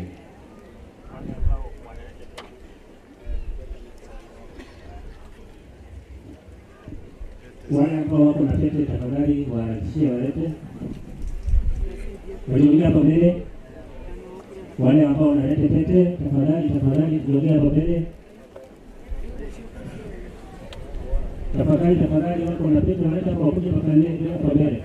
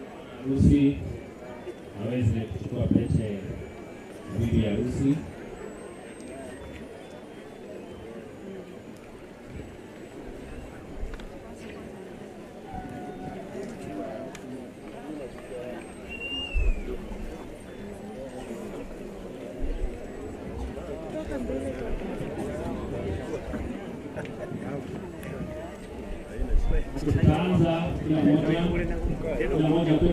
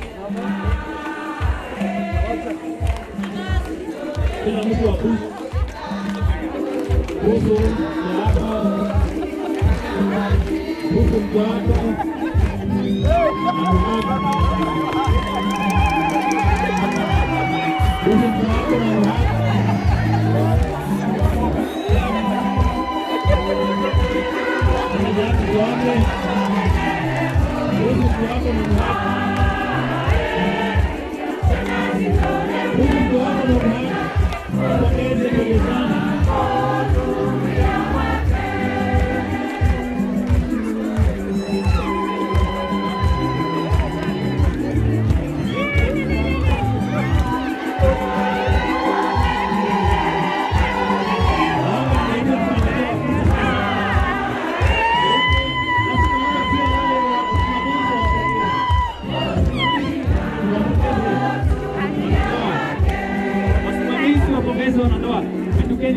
wa Kristo, Injili ikiendelea wa Kristo. Wasimamizi wao waweze kuwapongeza wenye ndoa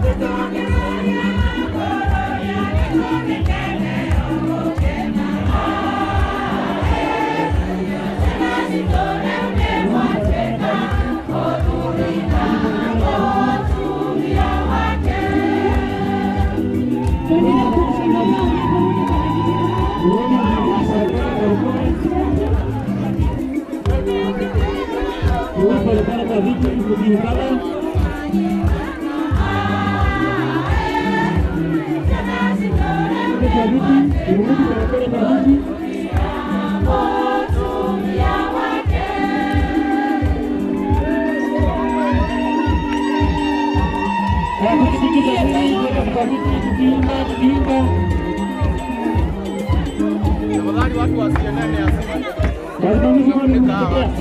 asifuate watu wako.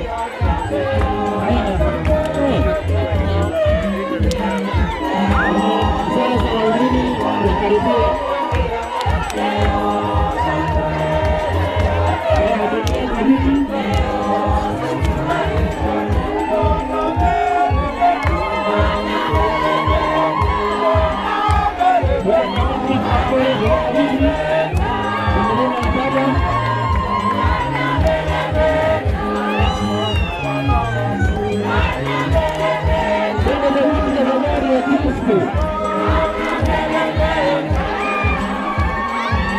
Yenaba Miki, Yenaba Miki, Yenaba Miki.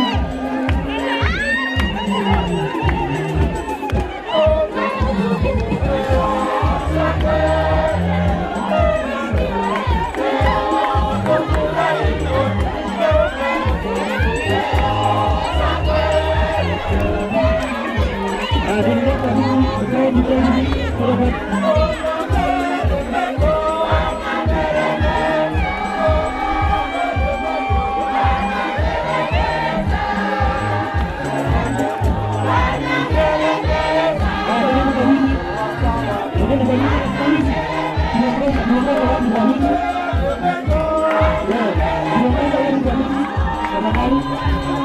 Gracias.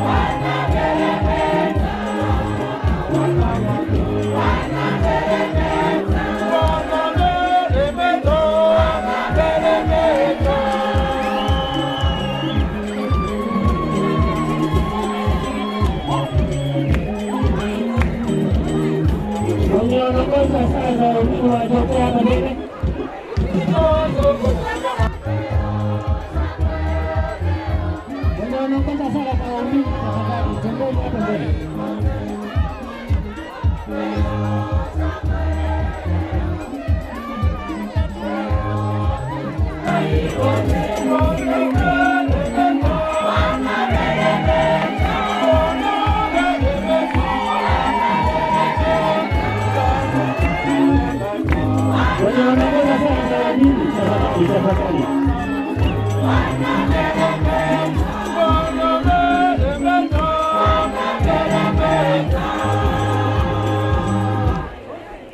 waketi watu warudi kwa viti tafadhali.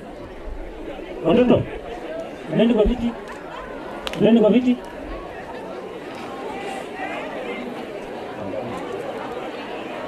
Wenye wanaongoza sala za umini tafadhali, mgojogea hapa mbele.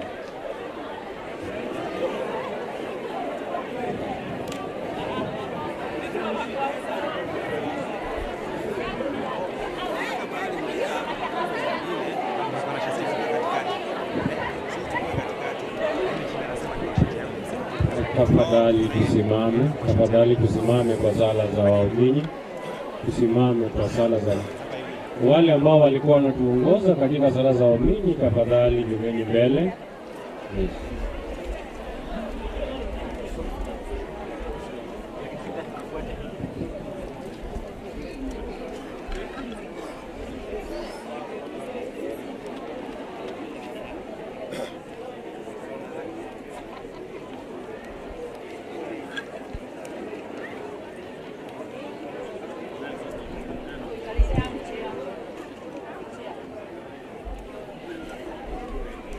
Tuombe.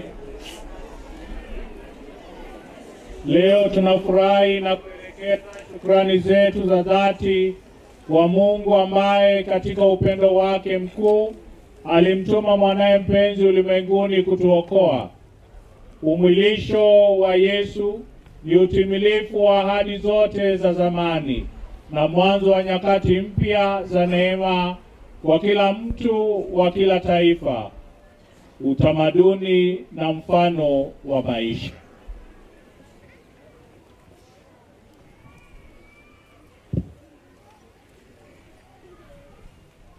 Tu, tuliombee kanisa.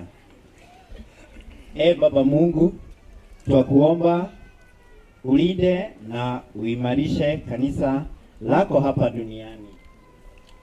Umlinde Baba Mtakatifu wetu Francisco na askofu wetu Cleopas Oseso, Oseso tuko, mapadri, mashemasi, watawa wa kiume na, na kike, makatekista na wote wenye madaraka kwenye kanisa letu. Wajalie neema waliongoze kanisa lako kwa busara na hekima. E Bwana, utusikie. tuombe nchi. embamba. Mbamba Mungu, tunakabidhi nchi yetu ya Kenya mikononi mwako. Tunakabidhi rais wetu na viongozi wote wenye nyadhifa mbalimbali mikononi mwako, ili wahudumie raia wote kwa msingi ya haki, amani na upendo. E Bwana, utusikie. Tuombee familia. E Mungu Baba wa milele, tunakukabidhi familia zetu zote ulimwenguni mikononi mwako. Uwajalie wanafamilia wote moyo wa umoja na ushirikiano, wasaidiane, wafumiliane kupendana bila kudai kitu, kuheshimiana, kuvumiliana. Sikinge familia zetu na maovu ya mwili na ya roho. Sivanya nyumba zetu za Kikristo siwe makao ya Mungu. Sinjarie familia zetu ambazo wasiishi kikrisakramenti sipate mwaliko mpya. e Bwana utusikie. Tuombee mito. E Baba Mungu mwenyezi wa milele, tunaombea mito katika kanisa letu. Wajalie vijana wengi mito ya daraja, utawa na ndoa takatifu. Waongoze, waimarishe, waweze kufuta mihito uliowajalia kwa uaminifu na upendo, ili wakaweza kutimiza kusudio uliowaitia. E Bwana, utusikie. Tuombee wagonjwa. Mungu wa milele, tunakabidhi wagonjwa wote mikononi mwako, uwajalie afya ya mwili na roho, uwapunguzie wagonjwa maumivu yao, uwajalie wauguzi na jamaa kuiwaguza wagonjwa vizuri na kwa upendo. E Bwana, utusikie. Tuombee mahitaji mbalimbali. Ee Baba Mungu wa milele, tunaleta mahitaji yote mikononi mwako. Si, walio, wasio na chakula ukawapa, wasio na manguo na makao ukawapa, wasafari ukawafikisha salama, walio magerezani ukawapa matumaini, wa, wa, waomboleza ukawafariji. utusaidia ili tuone Kristo katika mahitaji na uka, uchakua mas, misalaba yao pamoja nao. Ee Baba utusikie. Baba mwenye upendo, katika mpango wako wa ajabu na wa wokovu ulimchagua Maria kuwa mama wa mwanao. Sikiliza sala zetu na utusaidie tufurahi kufanya mapenzi yako kwa ajili ya wokovu wa ulimwengu kwa njia ya Kristu Bwana wetu.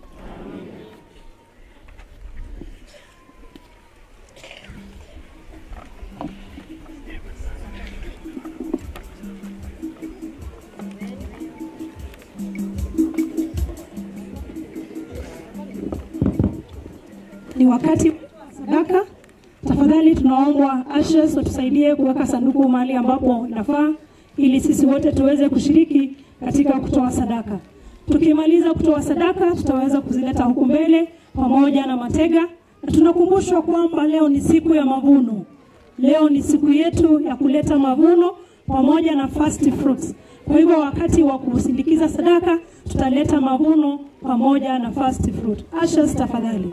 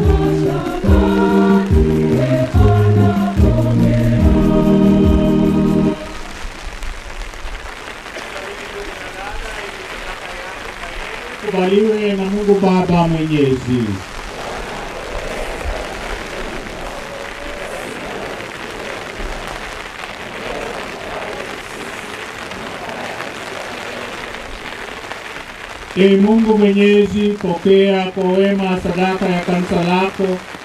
Kanisa linajua kwamba lilitokana na kumwilishwa kwake mwanao pekee. Ulijalie liadhimishe mafumbo yake kwa furaha katika sherehe hii, anayeishi na kutawala milele na milele. Bwana awe nanyi, inueni mioyo, mshukuru Bwana Mungu wetu. kweli ni wema na haki, tendo la kufa na kuleta uokovu. Nikushukuru wewe daima na popote, Bwana Baba uliye mtakatifu, Mungu mwenyezi wa milele, kwa njia ya Kristo Bwana wetu. Ndiye aliyezaliwa katika watu kwa ajili ya watu, ndiye yeye ambaye bikira alipokea kwa imani habari zake kwa malaika, na kwa upendo alichukua mimba katika tumbo lake safi. Kwa uwezo wa Roho Mtakatifu ndivyo alivyokamilisha ukweli wa ahadi walio walizopewa wana wa Israeli na kujulishwa kuwa yanatimizwa matarajio ya mataifa. Kwa njia yake majeshi ya malaika husujudia adhama yako, wakifurahia daima na milele mbele ya uso wako. Tunakusihi utujalie tujiunge nao kwa wimbo wa sifa, tukishiriki kusema kwa shangwe.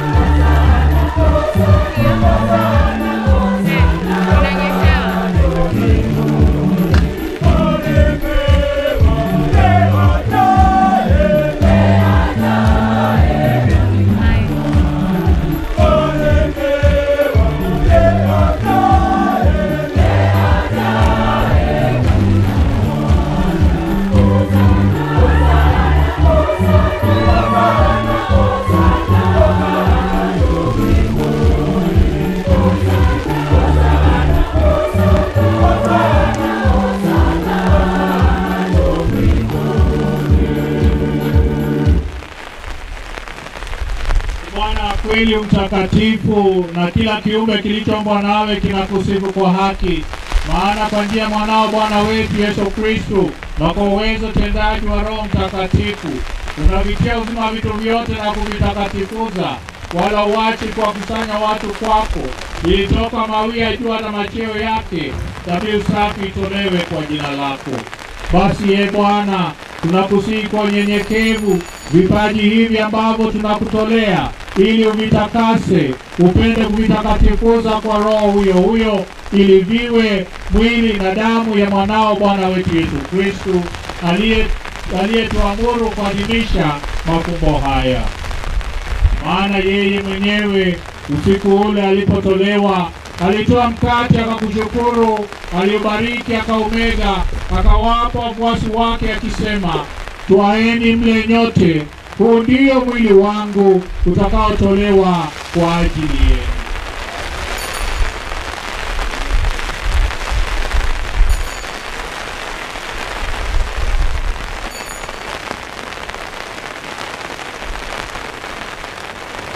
Vivyo hivyo baada ya kula akatoa kikombe, akakushukuru, akakibariki, akawapa wafuasi wake akisema, twaeni mnyenyote hiki ndicho kikombe cha damu yangu, damu ya agano jipya na la milele, itakayomwagika kwa ajili yenu na kwa ajili ya wengi kwa maondoleo ya dhambi. Fanyeni hivi kwa ukumbusho wangu.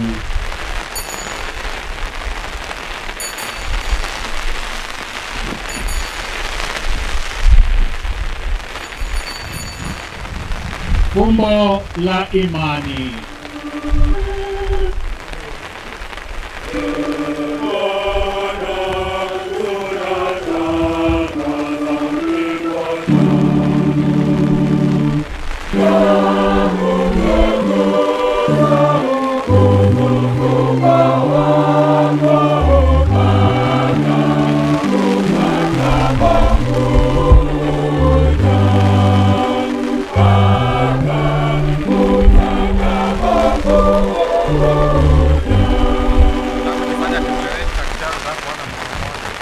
Hiyo Bwana, tunapoadhimisha ukumbusha mateso ya mwanao yaletayo wokovu pamoja na ufuko wake wa ajabu na kupaa kwake mbinguni, tunapotazamia ujio wake wa pili, tunakutolea kwa shukrani sadaka iliyo hai na takatifu.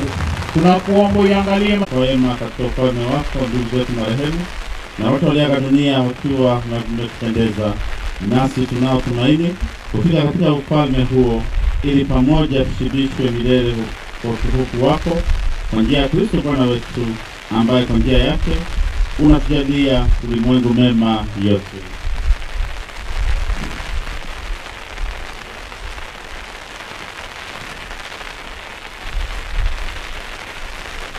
Kwa njia yake pamoja naye na ndani yake, wewe Mungu Baba Mwenyezi, katika umoja Roho Mtakatifu, unapata heshima yote na utukufu milele na milele.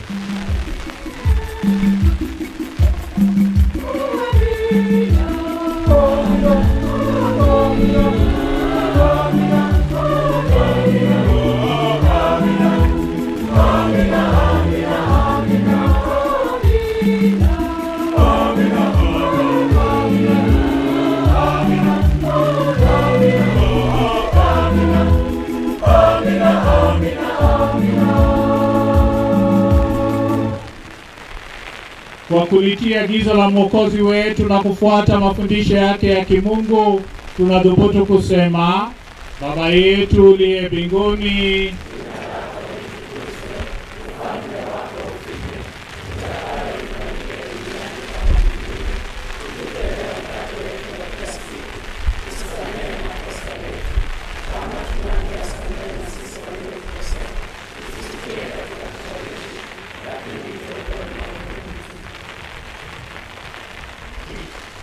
Ndugu wapendwa, tuombee kwa unyenyekevu Bwana awamiminie kwa wingi wa, ba wa baraka ya neema zake watumishi wake hawa waliofunga ndoa katika Kristu, nao wa, waunganishwe kwa agano takatifu, awafanye kuwa moyo moja katika mapendo.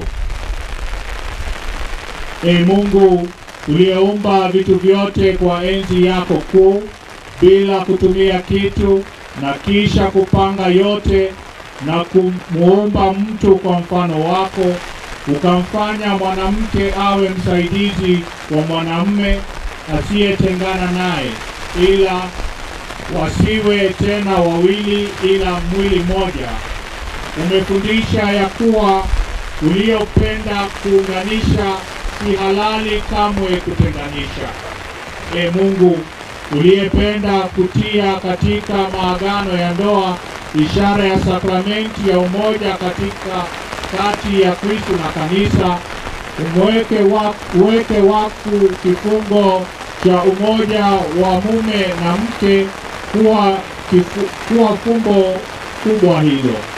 E Mungu uliagiza kwamba mwanamume mwanamke aambatane na mumewe, akawajalie tangu mwanzo ushirika huo ambao wale ambao wala kwa dham, kwa da, wala kwa dhabahu ya dhambi ya asili wala wala kwa hukumu hukumu ya gharika kuu haikufutuliwa mbali uwatazame kwa wema watumishi wako hawa waliofunga ndoa, wanaotazamia kuimarishwa kwa baraka yako.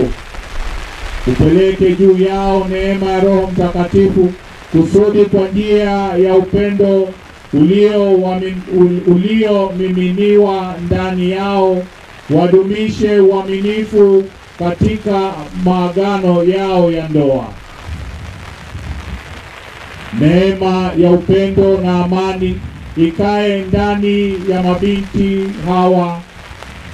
Da, daima wafuate wanawake watakatifu waliosifika katika maandiko matakatifu, na moyo wa mme wake uwe wa imani naye, amtambue kuwa mwenziwe na mrithi mwenzake wa neema ya uzima, ampe heshima ipasavyo, apende ampende daima kama Kristu alivyolipenda kanisa lake.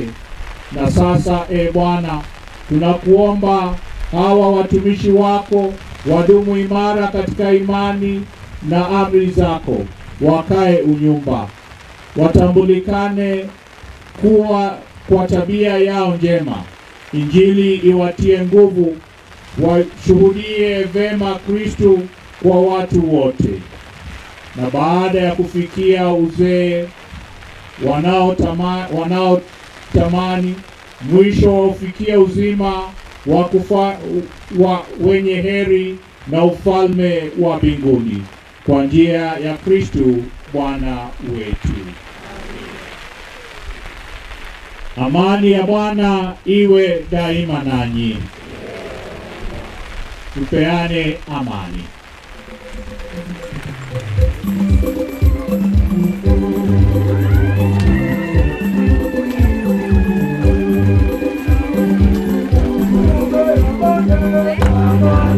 Thank you.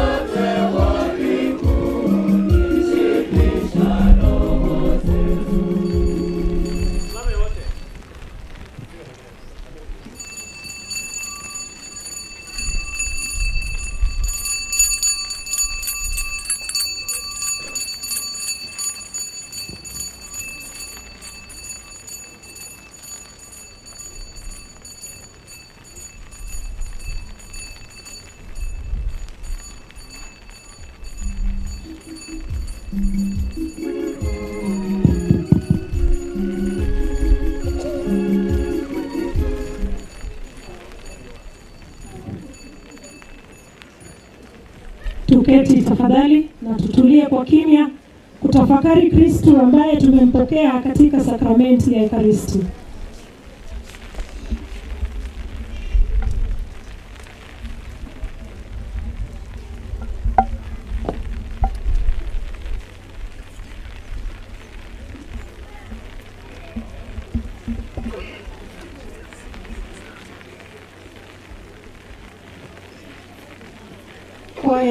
Kwaya, tupate wimbo wa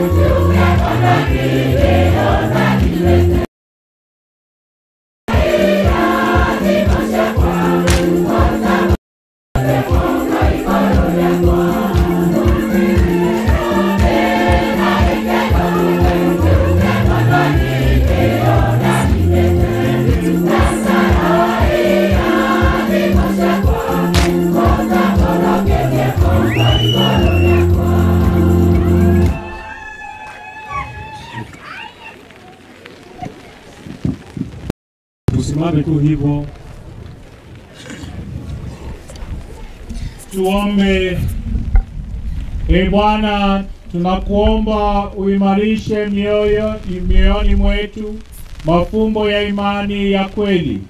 Tunaungama kwamba yeye aliyechukuliwa mimba na bikira ni Mungu kweli na mtu kweli.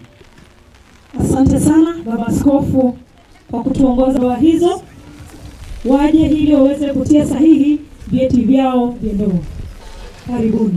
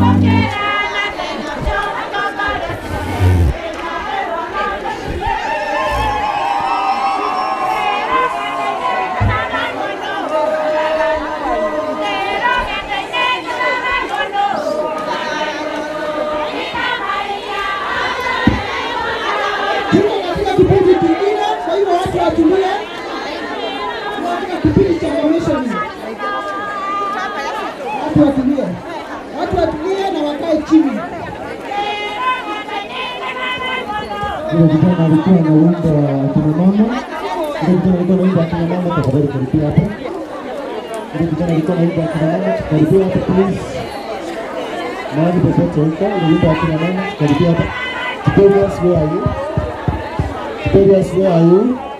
Haya, tuketi sasa. Tiberius, Tiberius.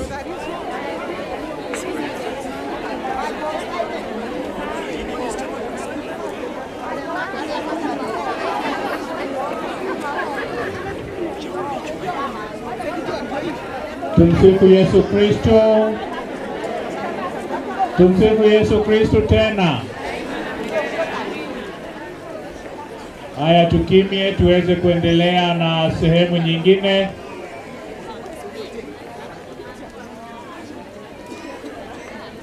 Asante kwa wanandoa. Naona hata mvua ikinyesha, upendo bado ni mkali kabisa. Basi sasa tumefika kiwango kingine basi cha kuvisha kina mama vitambaa. Kwa hivyo tutaweza kuweka mawazo yetu katika sherehe hii pia.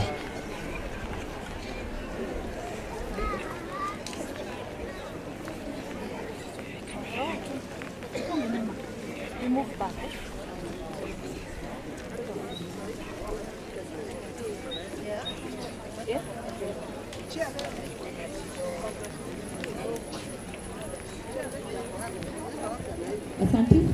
Wale wote wako Olevo wasimame nyuma ya hao ambao wanakuwa commission, tafadhali tusimame nyuma. Baba Askofu, Baba Askofu, akina mama walio hapa mbele yako ni na watatu ni washiriki wa kanisa Katoliki na wamehudhuria mafundisho kwa muda wa wiki nne.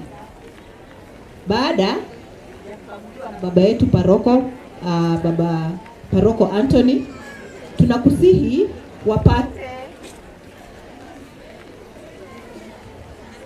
tunakusihi wapate kupokelewa katika umoja wa kina mama.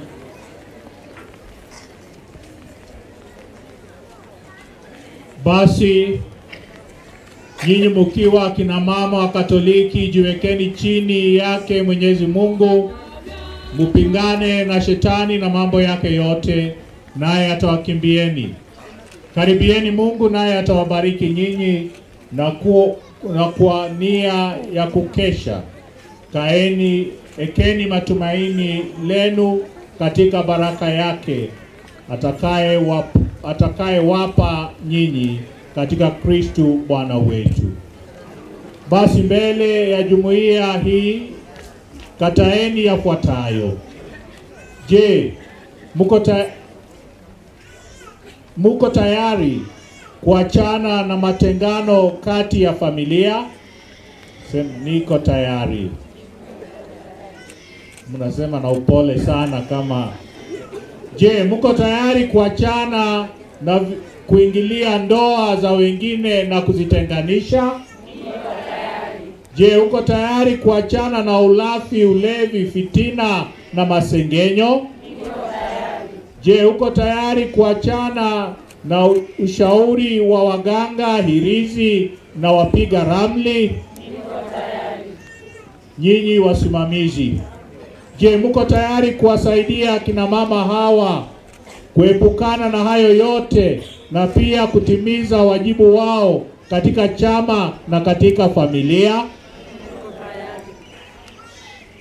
Kama watoto wa Mungu mwenye utiifu, msikubali kamwe kuzifuata tena tamaa mbaya mlizozikataa sasa hivi mtii ukweli wa Mungu, mukizitakasa roho zenu na kushuhudia Mungu wa kweli na Baba wa Bwana wetu Yesu Kristo.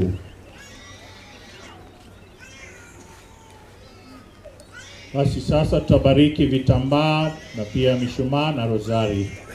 E Mungu muumba na mwenye kutakatifuza vitu vyote, tunakuomba ubariki vitambaa hivi, bariki na mishumaa hii, bariki na rozari hii, na wote ambao watazitumia kama ulivyoamuru. Wakati wowote wangekuomba na kukushukuru, uwape uzima wa kimwili na amani ya kiroho kwa njia ya Kristu Bwana wetu.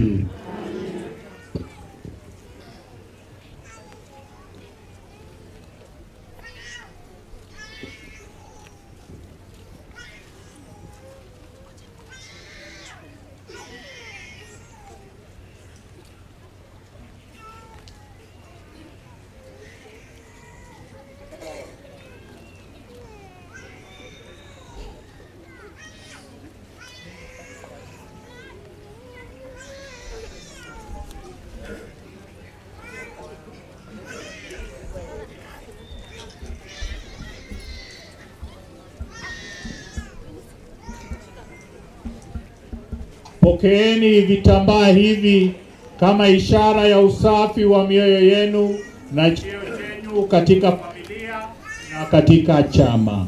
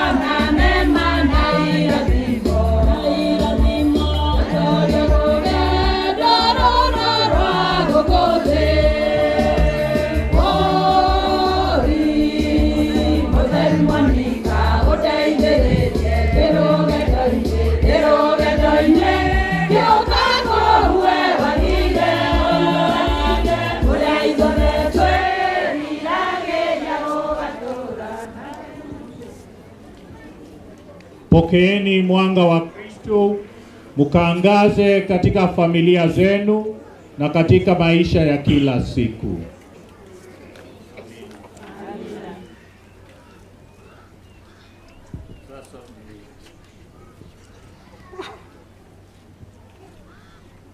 Sasa mtaweza kuahidi yafuatayo. Mnaahidi kushirikiana na kuheshimu wachungaji wenu wa kiroho na viongozi wa chama na viongozi wengine wa kanisa. Unaahidi kushuhudia Mariamu mama wa Mungu na kueneza sifa zake. Je, unaamini kwamba baada ya kuvikwa kitambaa cha chama umeamua kumfuata Kristu?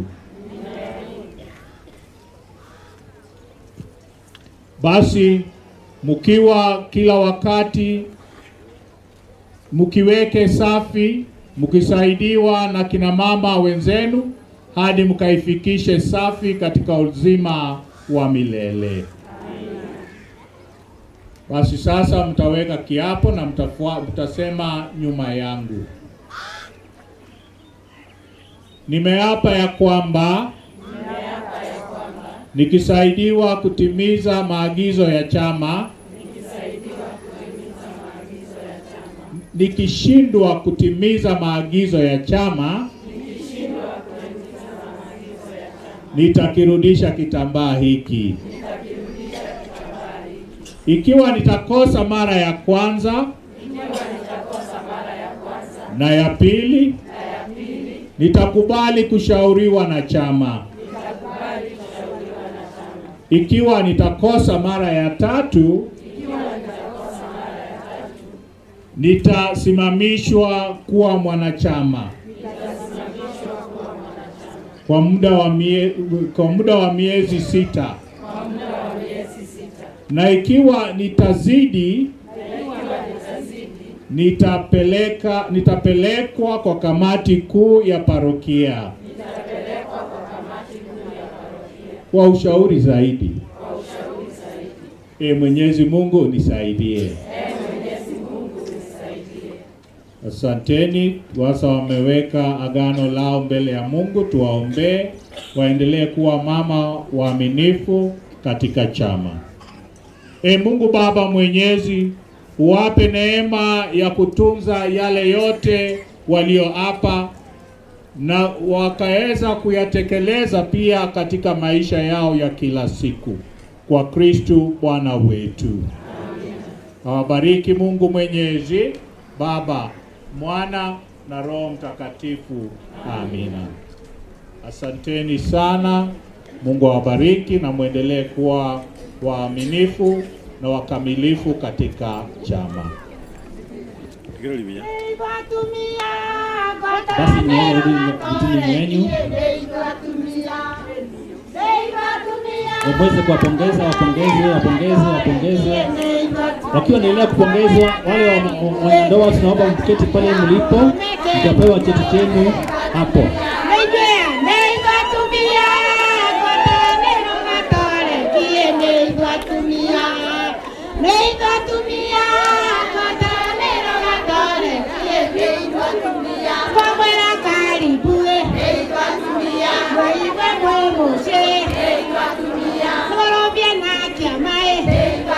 Mama wazo Venga tu mia! Mejwe Lengo tumia Kota nero watore kie Lengo è? Mejwe Lengo tumia Kota nero watore kie Lengo tumia Yakia Ndo mene Dele mawatona Wale mwode mwodoga Sabye kiama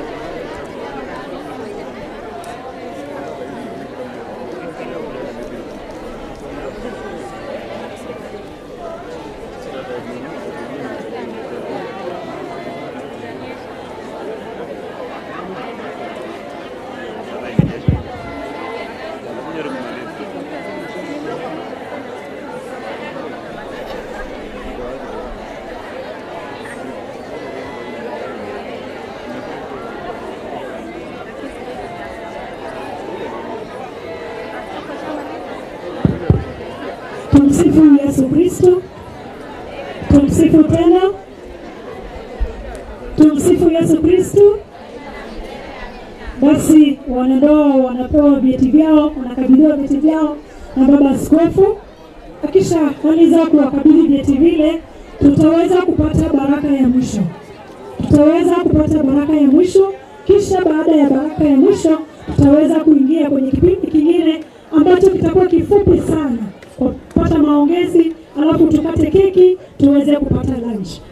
sasa tusimame kwa baraka ya mwisho.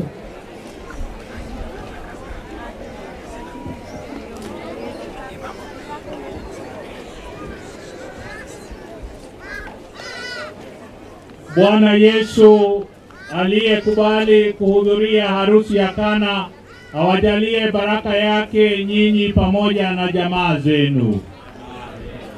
Yeye aliyependa kanisa mpaka mwisho awashushie daima mapendo yake mioyoni mwenu.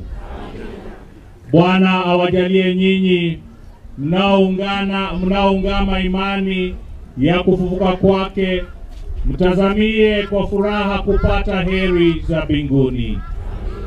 Nyinyi nyote mliokusanyika hapa, awabariki Mungu Mwenyezi, Baba, Mwana na Roho Mtakatifu. Amina. Nendeni na amani.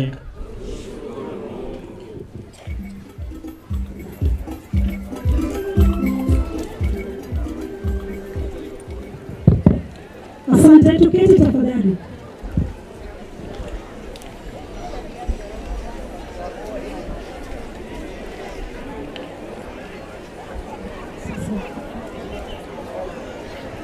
Tumsifu Yesu Kristo. Tumsifu tena. Basi tumekuwa na sherehe nzuri ya kufana, tumekuwa tumekamilisha misa, na katika misa tumepata wanandoa kumi.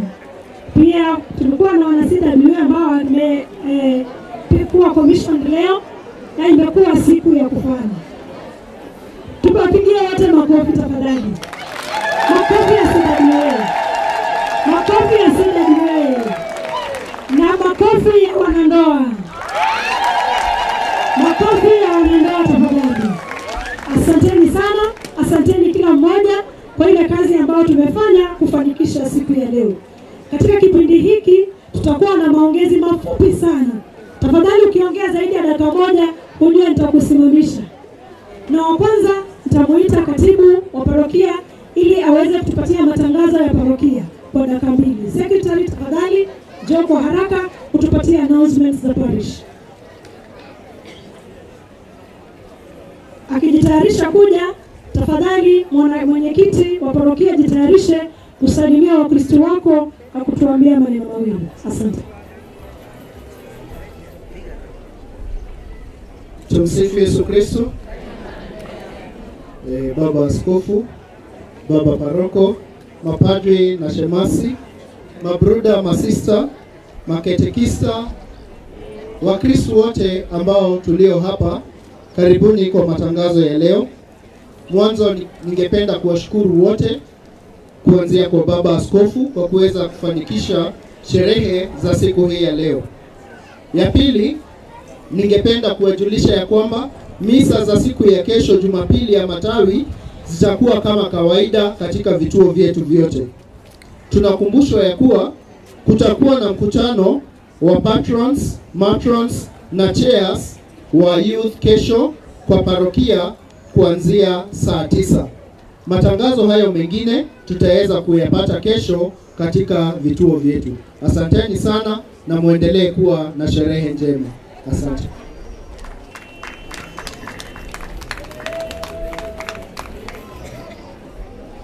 baba askofu, baba paloko, mapadri wengine, masista, maarusi, wamama wenye wamekomishoniwa na Wakristo wote. Tumsifu Yesu Kristo. Hebu nisalimieni kwa furaha. Tumsifu Yesu Kristo. Ningependa kumshukuru Mwenyezi Mungu kwa siku ya leo, na ametuonyesha, ametubariki kwa mvua. Kwa hivyo tumshukuru Mungu. Baba Askofu, asanti kwa kuwa na sisi na tumejisikia tumesherehekea siku hii ya Maria aliyepashwa habari. Sina mengi ya kusema leo, lakini ningependa kuwapongeza maarusi. Congratulations all. Mulikuja mkiwa wawili, sasa mumeenda mkiwa mmoja mmoja. Tumsifu Yesu Kristo. Wamama wenye wamekomishoniwa, tumsifu Yesu Kristo. Mumekuja bila vitambaa, mumeenda nyumbani na vitambaa. Kwa hivyo leo ni siku nzuri na ni siku tumesherehekea ya kwanza tangu tulipopewa parokia. Baba Askofu, sisi tuko miaka nne tu, sisi bado ni mtoto mchanga, lakini tunajitahidi, tunataka kuwa wakubwa haraka haraka, na maarusi ingine yenye tulifanya yali haijakiwa na korona. Mnakumbuka hiyo? Kwa hivyo hii ni sherehe yetu ya kwanza kusherehekea maarusi wengi katika siku yetu ya Maria aliyopashwa habari. Nawatakia siku njema. Tuko na chakula kingi kingi kabisa, tuko na wimbo, tuko na dance na kila kitu. Kwa hivyo tukimaliza kila kitu, tuko hapa tumsifu Yesu Kristo.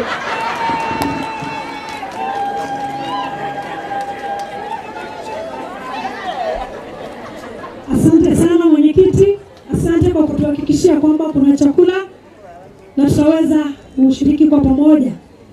Ningependa kumwalika mwenyekiti wa kamati ya maendeleo ya parokia, chairman wa development, tafadhali karibu unene nasi.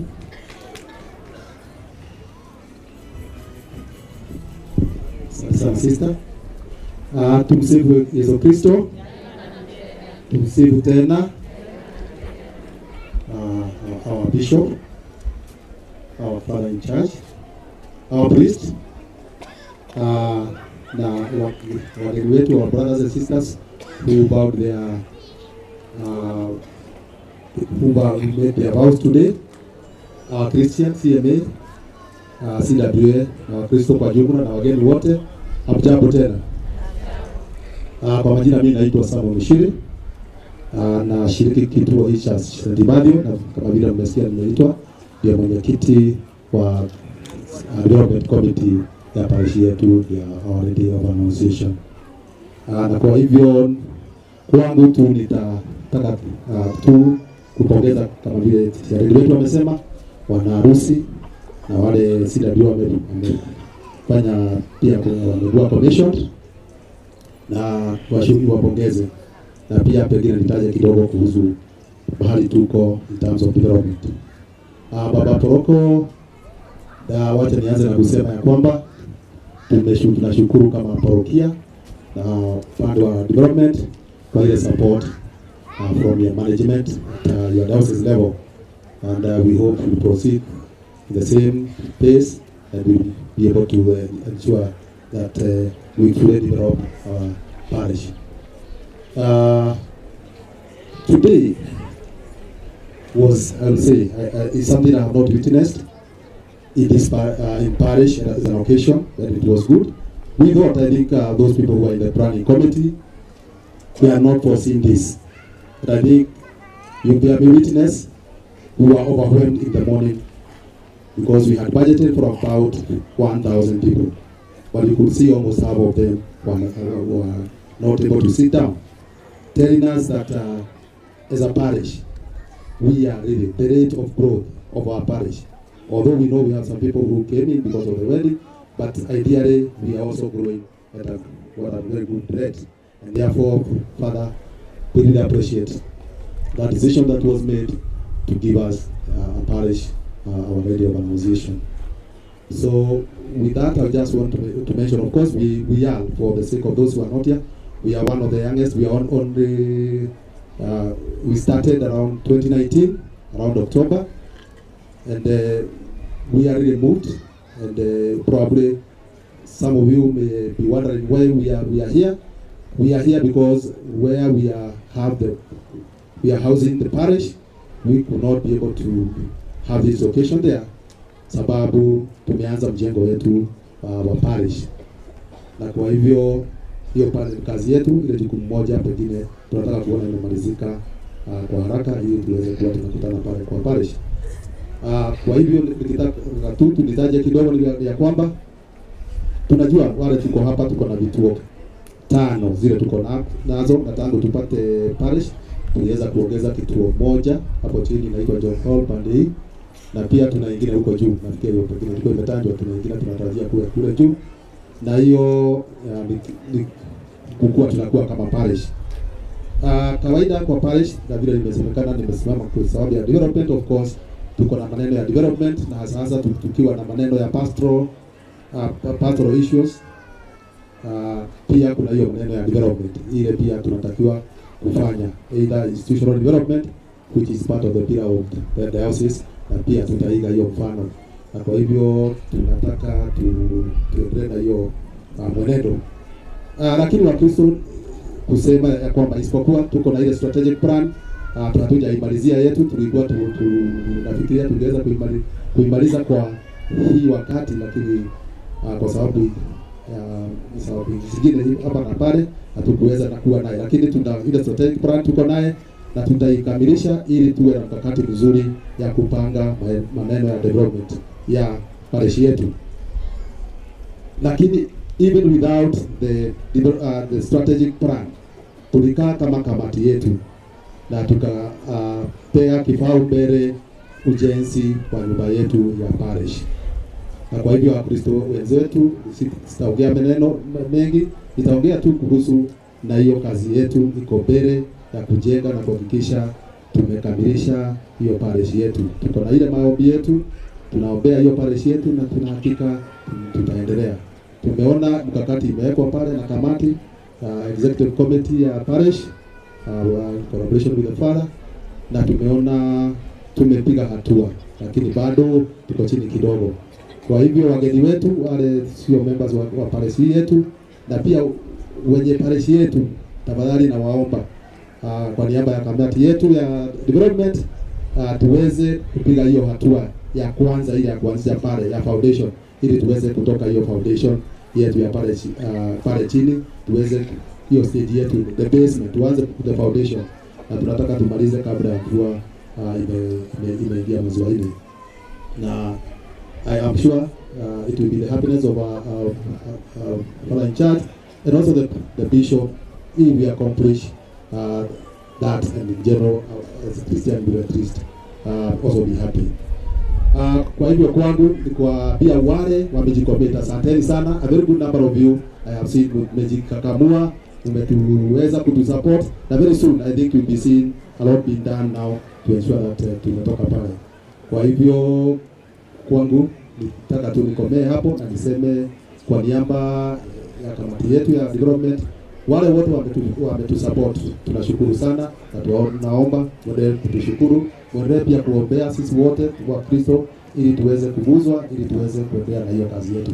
Kwa hayo machache naombea uh, siku njema, asanteni. Makofi kwake, tumpigie makofi. Asante sana chairman wa development ya parokia. Ningependa kumwita mnenaji huyo mwingine, na kama vile tumesema leo ni siku ya sherehe, leo hatutaki kuongea sana. Leo ni siku ya sherehe, na kwa hivyo ningependa tumalize mambo ambayo yamebaki, ndio tuweze kuingia kwa Mugithi vizuri, sawa sawa, tuweze kuingia kwa Mugithi vizuri, na tutaingia kwa Mugithi vizuri kama tutaweza kuokoa muda, sawa sawa.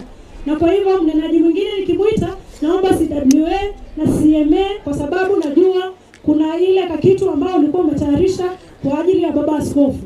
Wale ambao wanahusika na ile gift ya baba askofu, tafadhali tujitayarishe. Tukijitayarisha, tutamwalika baba paroko kwa hotuba yake. Asante, karibu pale. Tumsifu Yesu Kristo. Basi kabla ya ya hotuba yangu, sitaongea maneno mingi leo. Ningependa kuwatambulisha mapadri ambao wamekuja hapa siku hii ya leo, waweze kusimama na waweze kuwepo. Jina yako? Father Ronald Kapele ametoka katika diocese ya Ngong, amekuja kushuhudia ndoa ya Jack pamoja na nani na mke wake. Yeye ni Masai na hapa pia kuna Masai mwingine hapa ambaye ni padri pia kutoka Ngong, mnamfahamu vizuri. Father Joseph Warado mnafahamu vizuri. Huyo Jack ni anko yake. Asante sana Pati kwa kuja, pia asante sana kwa kuja kwa kushuhudia sherehe ya siku ya leo. Pia tuna padri ambaye mnamfahamu vizuri, Father Patrick ambaye amekuwa MC wetu siku hii ya leo wa liturgy Tunakushukuru padri kwa kufanya kazi nzuri. Pia tuna shemasi shemasi Thomas. Thomas ametoka Nigeria, ni wa St. Of St. Patrick's, amejua Kiswahili. Tupigie makofi. Anasoma kule Kwea Catholic University na anafanya kazi hapa Naivasha St. Francis Xavier wakati wa uh, Jumapili. Nafikiri nimetambulisha watu wote. Nani amebaki? Hakuna. Masista wako hapa pia. Uh, Sister Florence ako wapi? Asimame tafadhali. Mnamfahamu Sister Florence? Simama wave watu. Asante sana Sister Florence, anasimamia wakina mama pia. Asante sana sister. Kuna sister mwingine Agnes ako wapi? Simama. Pia huyo ni sister wetu, tuwapigie makofi. Kuna sister mwingine mdogo, Sister Gladys, tumpigie makofi. Aya, alafu huyo amekuwa akiongeza siku hii ya leo hapa ni nani? Sister Ann, mpigie makofi pia. Asante sana, asanteni sana. Kwa hivyo tunawapongeza, na kwanza kabisa nachukua nafasi baba askofu kushukuru kwa kutembea katika parokia pia ni yako, kwa sababu parokia zote za jimbo ni za baba askofu. Unajua hivyo, baba askofu anakuwa wa paroko wa maparokia zote. Sasa anatembea matembea moja mwaka, inafanya nini inaisha, akitembea kila kila kila parokia. Kwa hivyo asante sana baba askofu kwa kuweza kuja Tunakushukuru kwa kutuongoza katika misa yetu ya siku hii ya leo. Tunakushukuru kwa kuweka mikakati mizuri katika jimbo yetu. Sisi tunafuata yote ambayo unatuambia tuweze kuyafuata.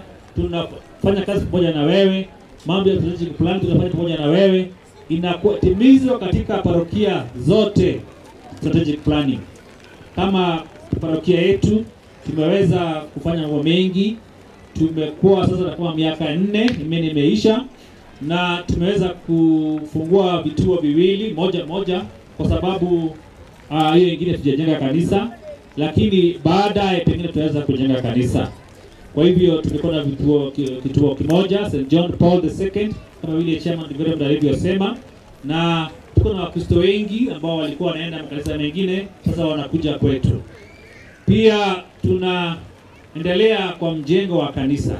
Mjengo wa kanisa letu ulianza kama mwezi mmoja ama mbili iliyopita, na tunaendelea kwa kujenga sasa base column, column base na column base moja ni shilingi ya elfu hamsini. Tuna, tuna column base ngapi? 80 zote, na sasa kwa sasa tukiongea watu sitini wameweza ku, ku pledge kuweza ku, kusaidia kutoa hizo pesa. Kwa hivyo tunawashukuru Wakristo wote wale ambao wamejitolea kutoa shilingi elfu hamsini kutengeneza hiyo column base, kwa sababu baada ya hiyo tutakuwa sasa tunaendelea kujenga hiyo kanisa yetu. Kwa hivyo nawapongeza wale ambao bado wako na moyo wa kujitolea, tuendelee kujitolea, hasa wale ambao wamefanya harusi siku hii ya leo. Njia moja ya kushukuru Mungu kusema nini? Asante. Natoa nini? Column base moja. Baadhi ya hao ambao wamefanya harusi tayari wametoa, wengine wametoa mbili, wengine wametoa moja. Wale ambao wako na uwezo, tunawaomba tuendelee kujitolea. Tunawashukuru wakina mama kwa sherehe yao ya siku hii ya leo, na pia najua ya kwamba wa- wakina baba walikuwa wamejitayarisha vizuri, walifanyiwa lakma miaka mbili iliyopita, waliwekewa tai. Na tunaomba tunatumaini ya kwamba pengine mwaka ujao tutakuwa na wanaume wengi ambao wamejiunga, alafu tuweze kufungua tai baada ya kupata mafundisho ambayo ni mzuri ya ambayo itatusaidia kukua kama chama cha wanaume. Kwa hivyo tunawapongeza watu wote kwa siku ile kuja na tunawashukuru na Mungu azidi kuwabariki. Nachukua nafasi hii sasa kumwalika baba askofu aweze kutoa hotuba yake, na baada ya hotuba yake tutaweza kuwa na sherehe za keki, alafu tutakuwa tumemaliza sherehe zetu ya siku ya leo. Karibu baba askofu.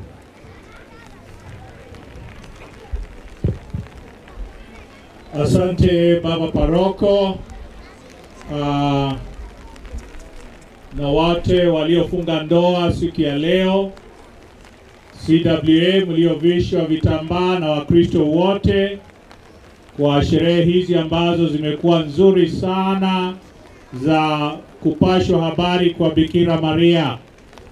Kwa hivyo ilikuwa ni njia nzuri sana ya kusherekea siku hii kwa sakramenti hii takatifu ya ndoa. Mungu aendelee kuwaimarisha wanandoa na mwendelee kusimamia familia zenu zikaweza kuwa zenye imani. Kina mama pia mwendelee kuboresha kikundi katika eneo hili na hasa zaidi katika parokia hii.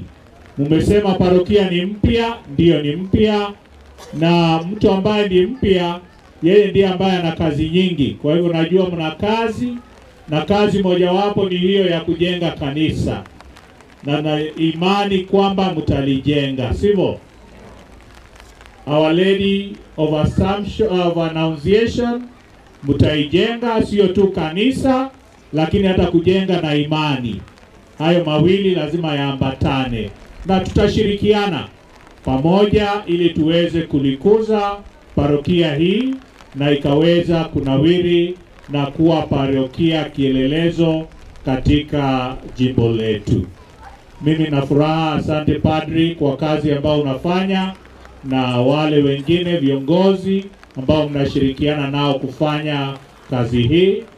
Naahidi kuendelea kuombea na kuahidi pia ushirikiano wangu ili katika kazi zote tuzifanye kwa upendo na tuzifanye kwa ajili ya kukuza parokia hii ambayo bado ni changa kabisa.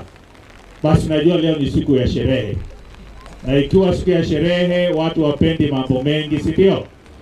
Tumesikia kuna keki na kuna chakula. Sasa hiyo yote nikiongea, mtakula saa ngapi? Kwa hivyo nina furaha sana, mimi nina furaha kufika hapa Karae. Nilikuwa nakuja kitambo nikiwa mtoto misa.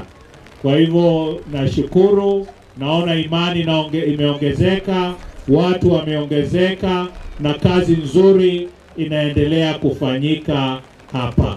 Nafurahi sana na tuendelee kuombeana, tuendelee kutiana nguvu na ili parokia yetu iweze kuendelea mbele na mbele hata zaidi. Tumsifu Yesu Kristo. Hayo ndio mambo yangu, sina mambo mengi, sababu siku ya ndoa najua wanandoa wameandaa mambo nje mahali pengine. Kwa hivyo hata nikiendelea kuongea, najua kuna mtu kwa roho yake anasema nitamaliza saa ngapi. Kwa hivyo mimi najua kile uko nacho kwa roho yako. Kwa hivyo yangu imeishia hapo. Mungu awabariki na muwe na siku njema. Asanteni. Makofi kwa baba askofu, makofi, makofi, makofi. Asante sana baba askofu. Naona kina uh, CMA wana zawadi na ningewaalika karibuni. Na kina mama pia CWA kama vile tumesema, najua hatutaachwa nyuma. Karibuni hata nyuma.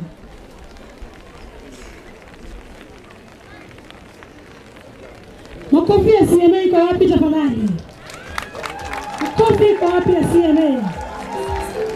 Wanamzawadi baba askofu. Kuna mbuzi pale kondoo aliyenona sana.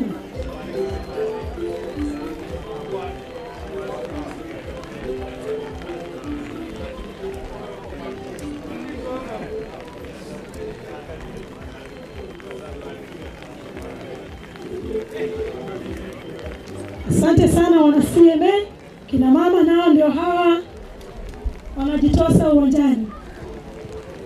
Tumsifu Yesu Kristo. God is good and all the time. Tumesimama hapa kwa niaba ya CWA, kwa hivyo CWA wote msimame penye mko na mseme ngemi tano kwa sababu ya mgeni wetu. Moja,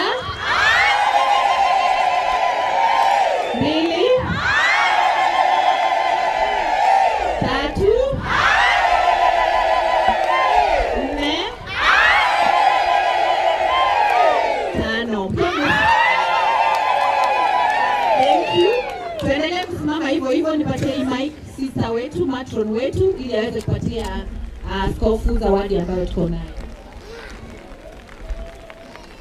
Tumsifu Yesu Kristu. Baba Askofu, hapa tuko na bahasha ya kutoka wa, kwa kina mama. Unajua baba akija nyumbani lazima mama apike, na tunajua umetoka safari ya mbali, kwa hivyo tunakusindikisha na tunakupangusa jasho kwa hii bahasha, kwa sababu tunajua ni muda ni safari ndefu kutoka Nakuru kuja hapa. Kwa hivyo kina mama wote wanasema shukrani kwa kufika.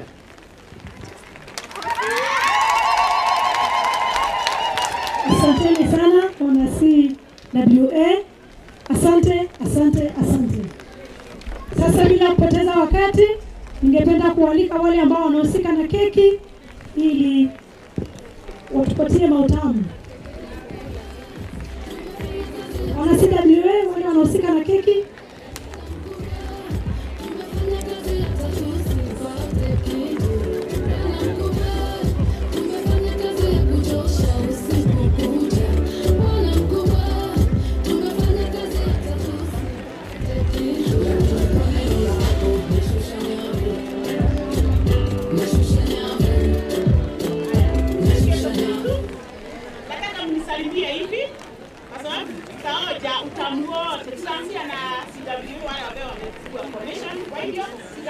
CW mkaribie hapa eh, na tunataka kuharakisha haraka. Wewe leta. Krista. Haya, sisa amekuja na kutusaidia yetu ya CWA na nini? Ya, na na na mabwana na mabidi wa harusi mjitayarishe. Yenu iko hapa na ni nzuri sana, lakini hebu kwanza tuanze na. CWA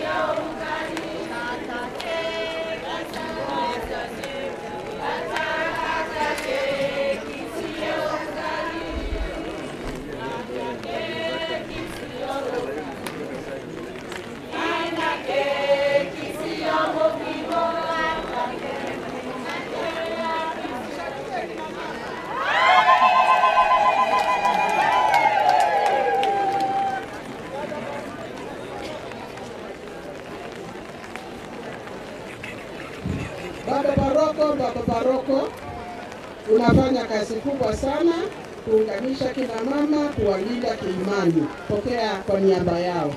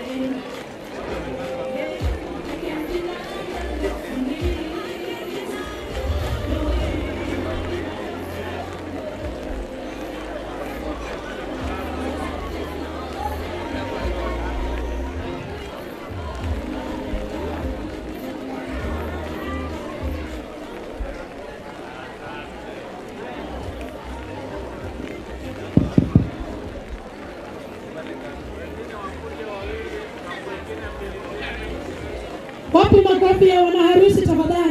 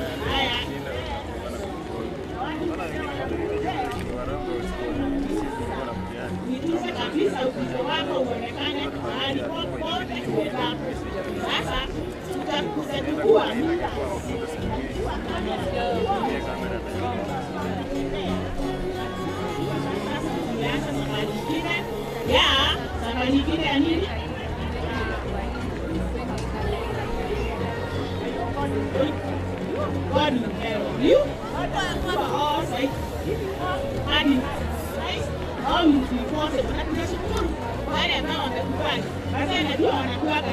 lakini leo mmeikizwa lazima lazima mwendelee kwenda kanisa, sio kanisa siku hii na ile ingine. Lazima uendelee na mtakuwa imani na Mungu atakubariki sana. Asanteni sana kwa.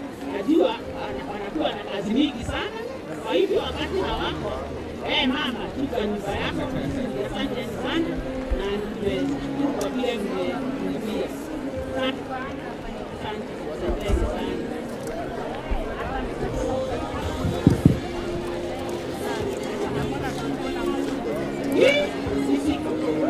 Ni siku nzuri sana.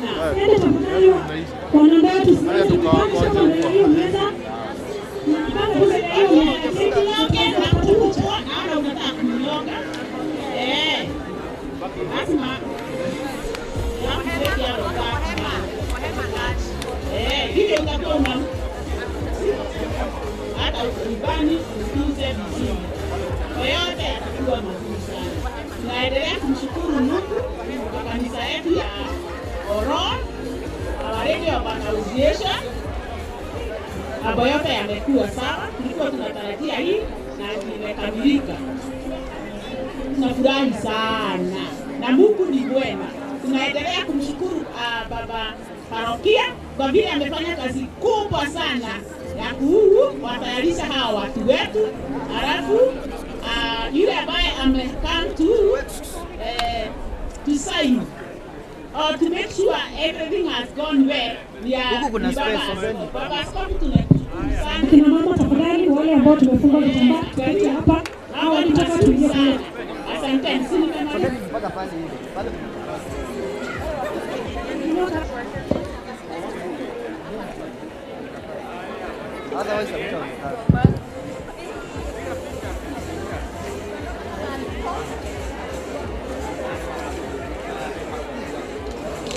Tunaendelea kutamatisha sherehe zetu za leo. Tunaona wanandoa wote wanapigwa picha pamoja na baba askofu na mapadri.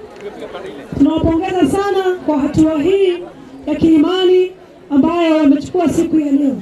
Tunawatakia baraka na matashi mema wanapoenda kuishi maisha mema katika familia zao, maisha ya Kikristo.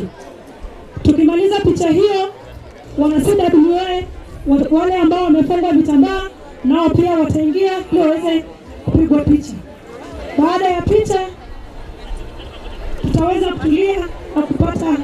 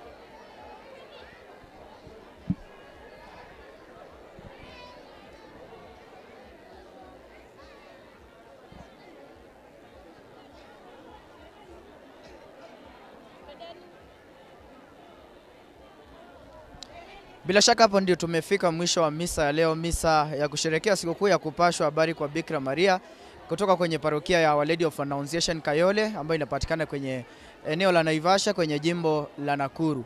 E, katika misa ya leo wanandoa uh, thelathini na wanandoa kumi na moja kuniradhi wameweza kufunga ndoa takatifu na vilevile vile wakina mama thelathini na watatu wameweza kufungwa vitambaa uh, kupokelewa katika kikundi cha CWA.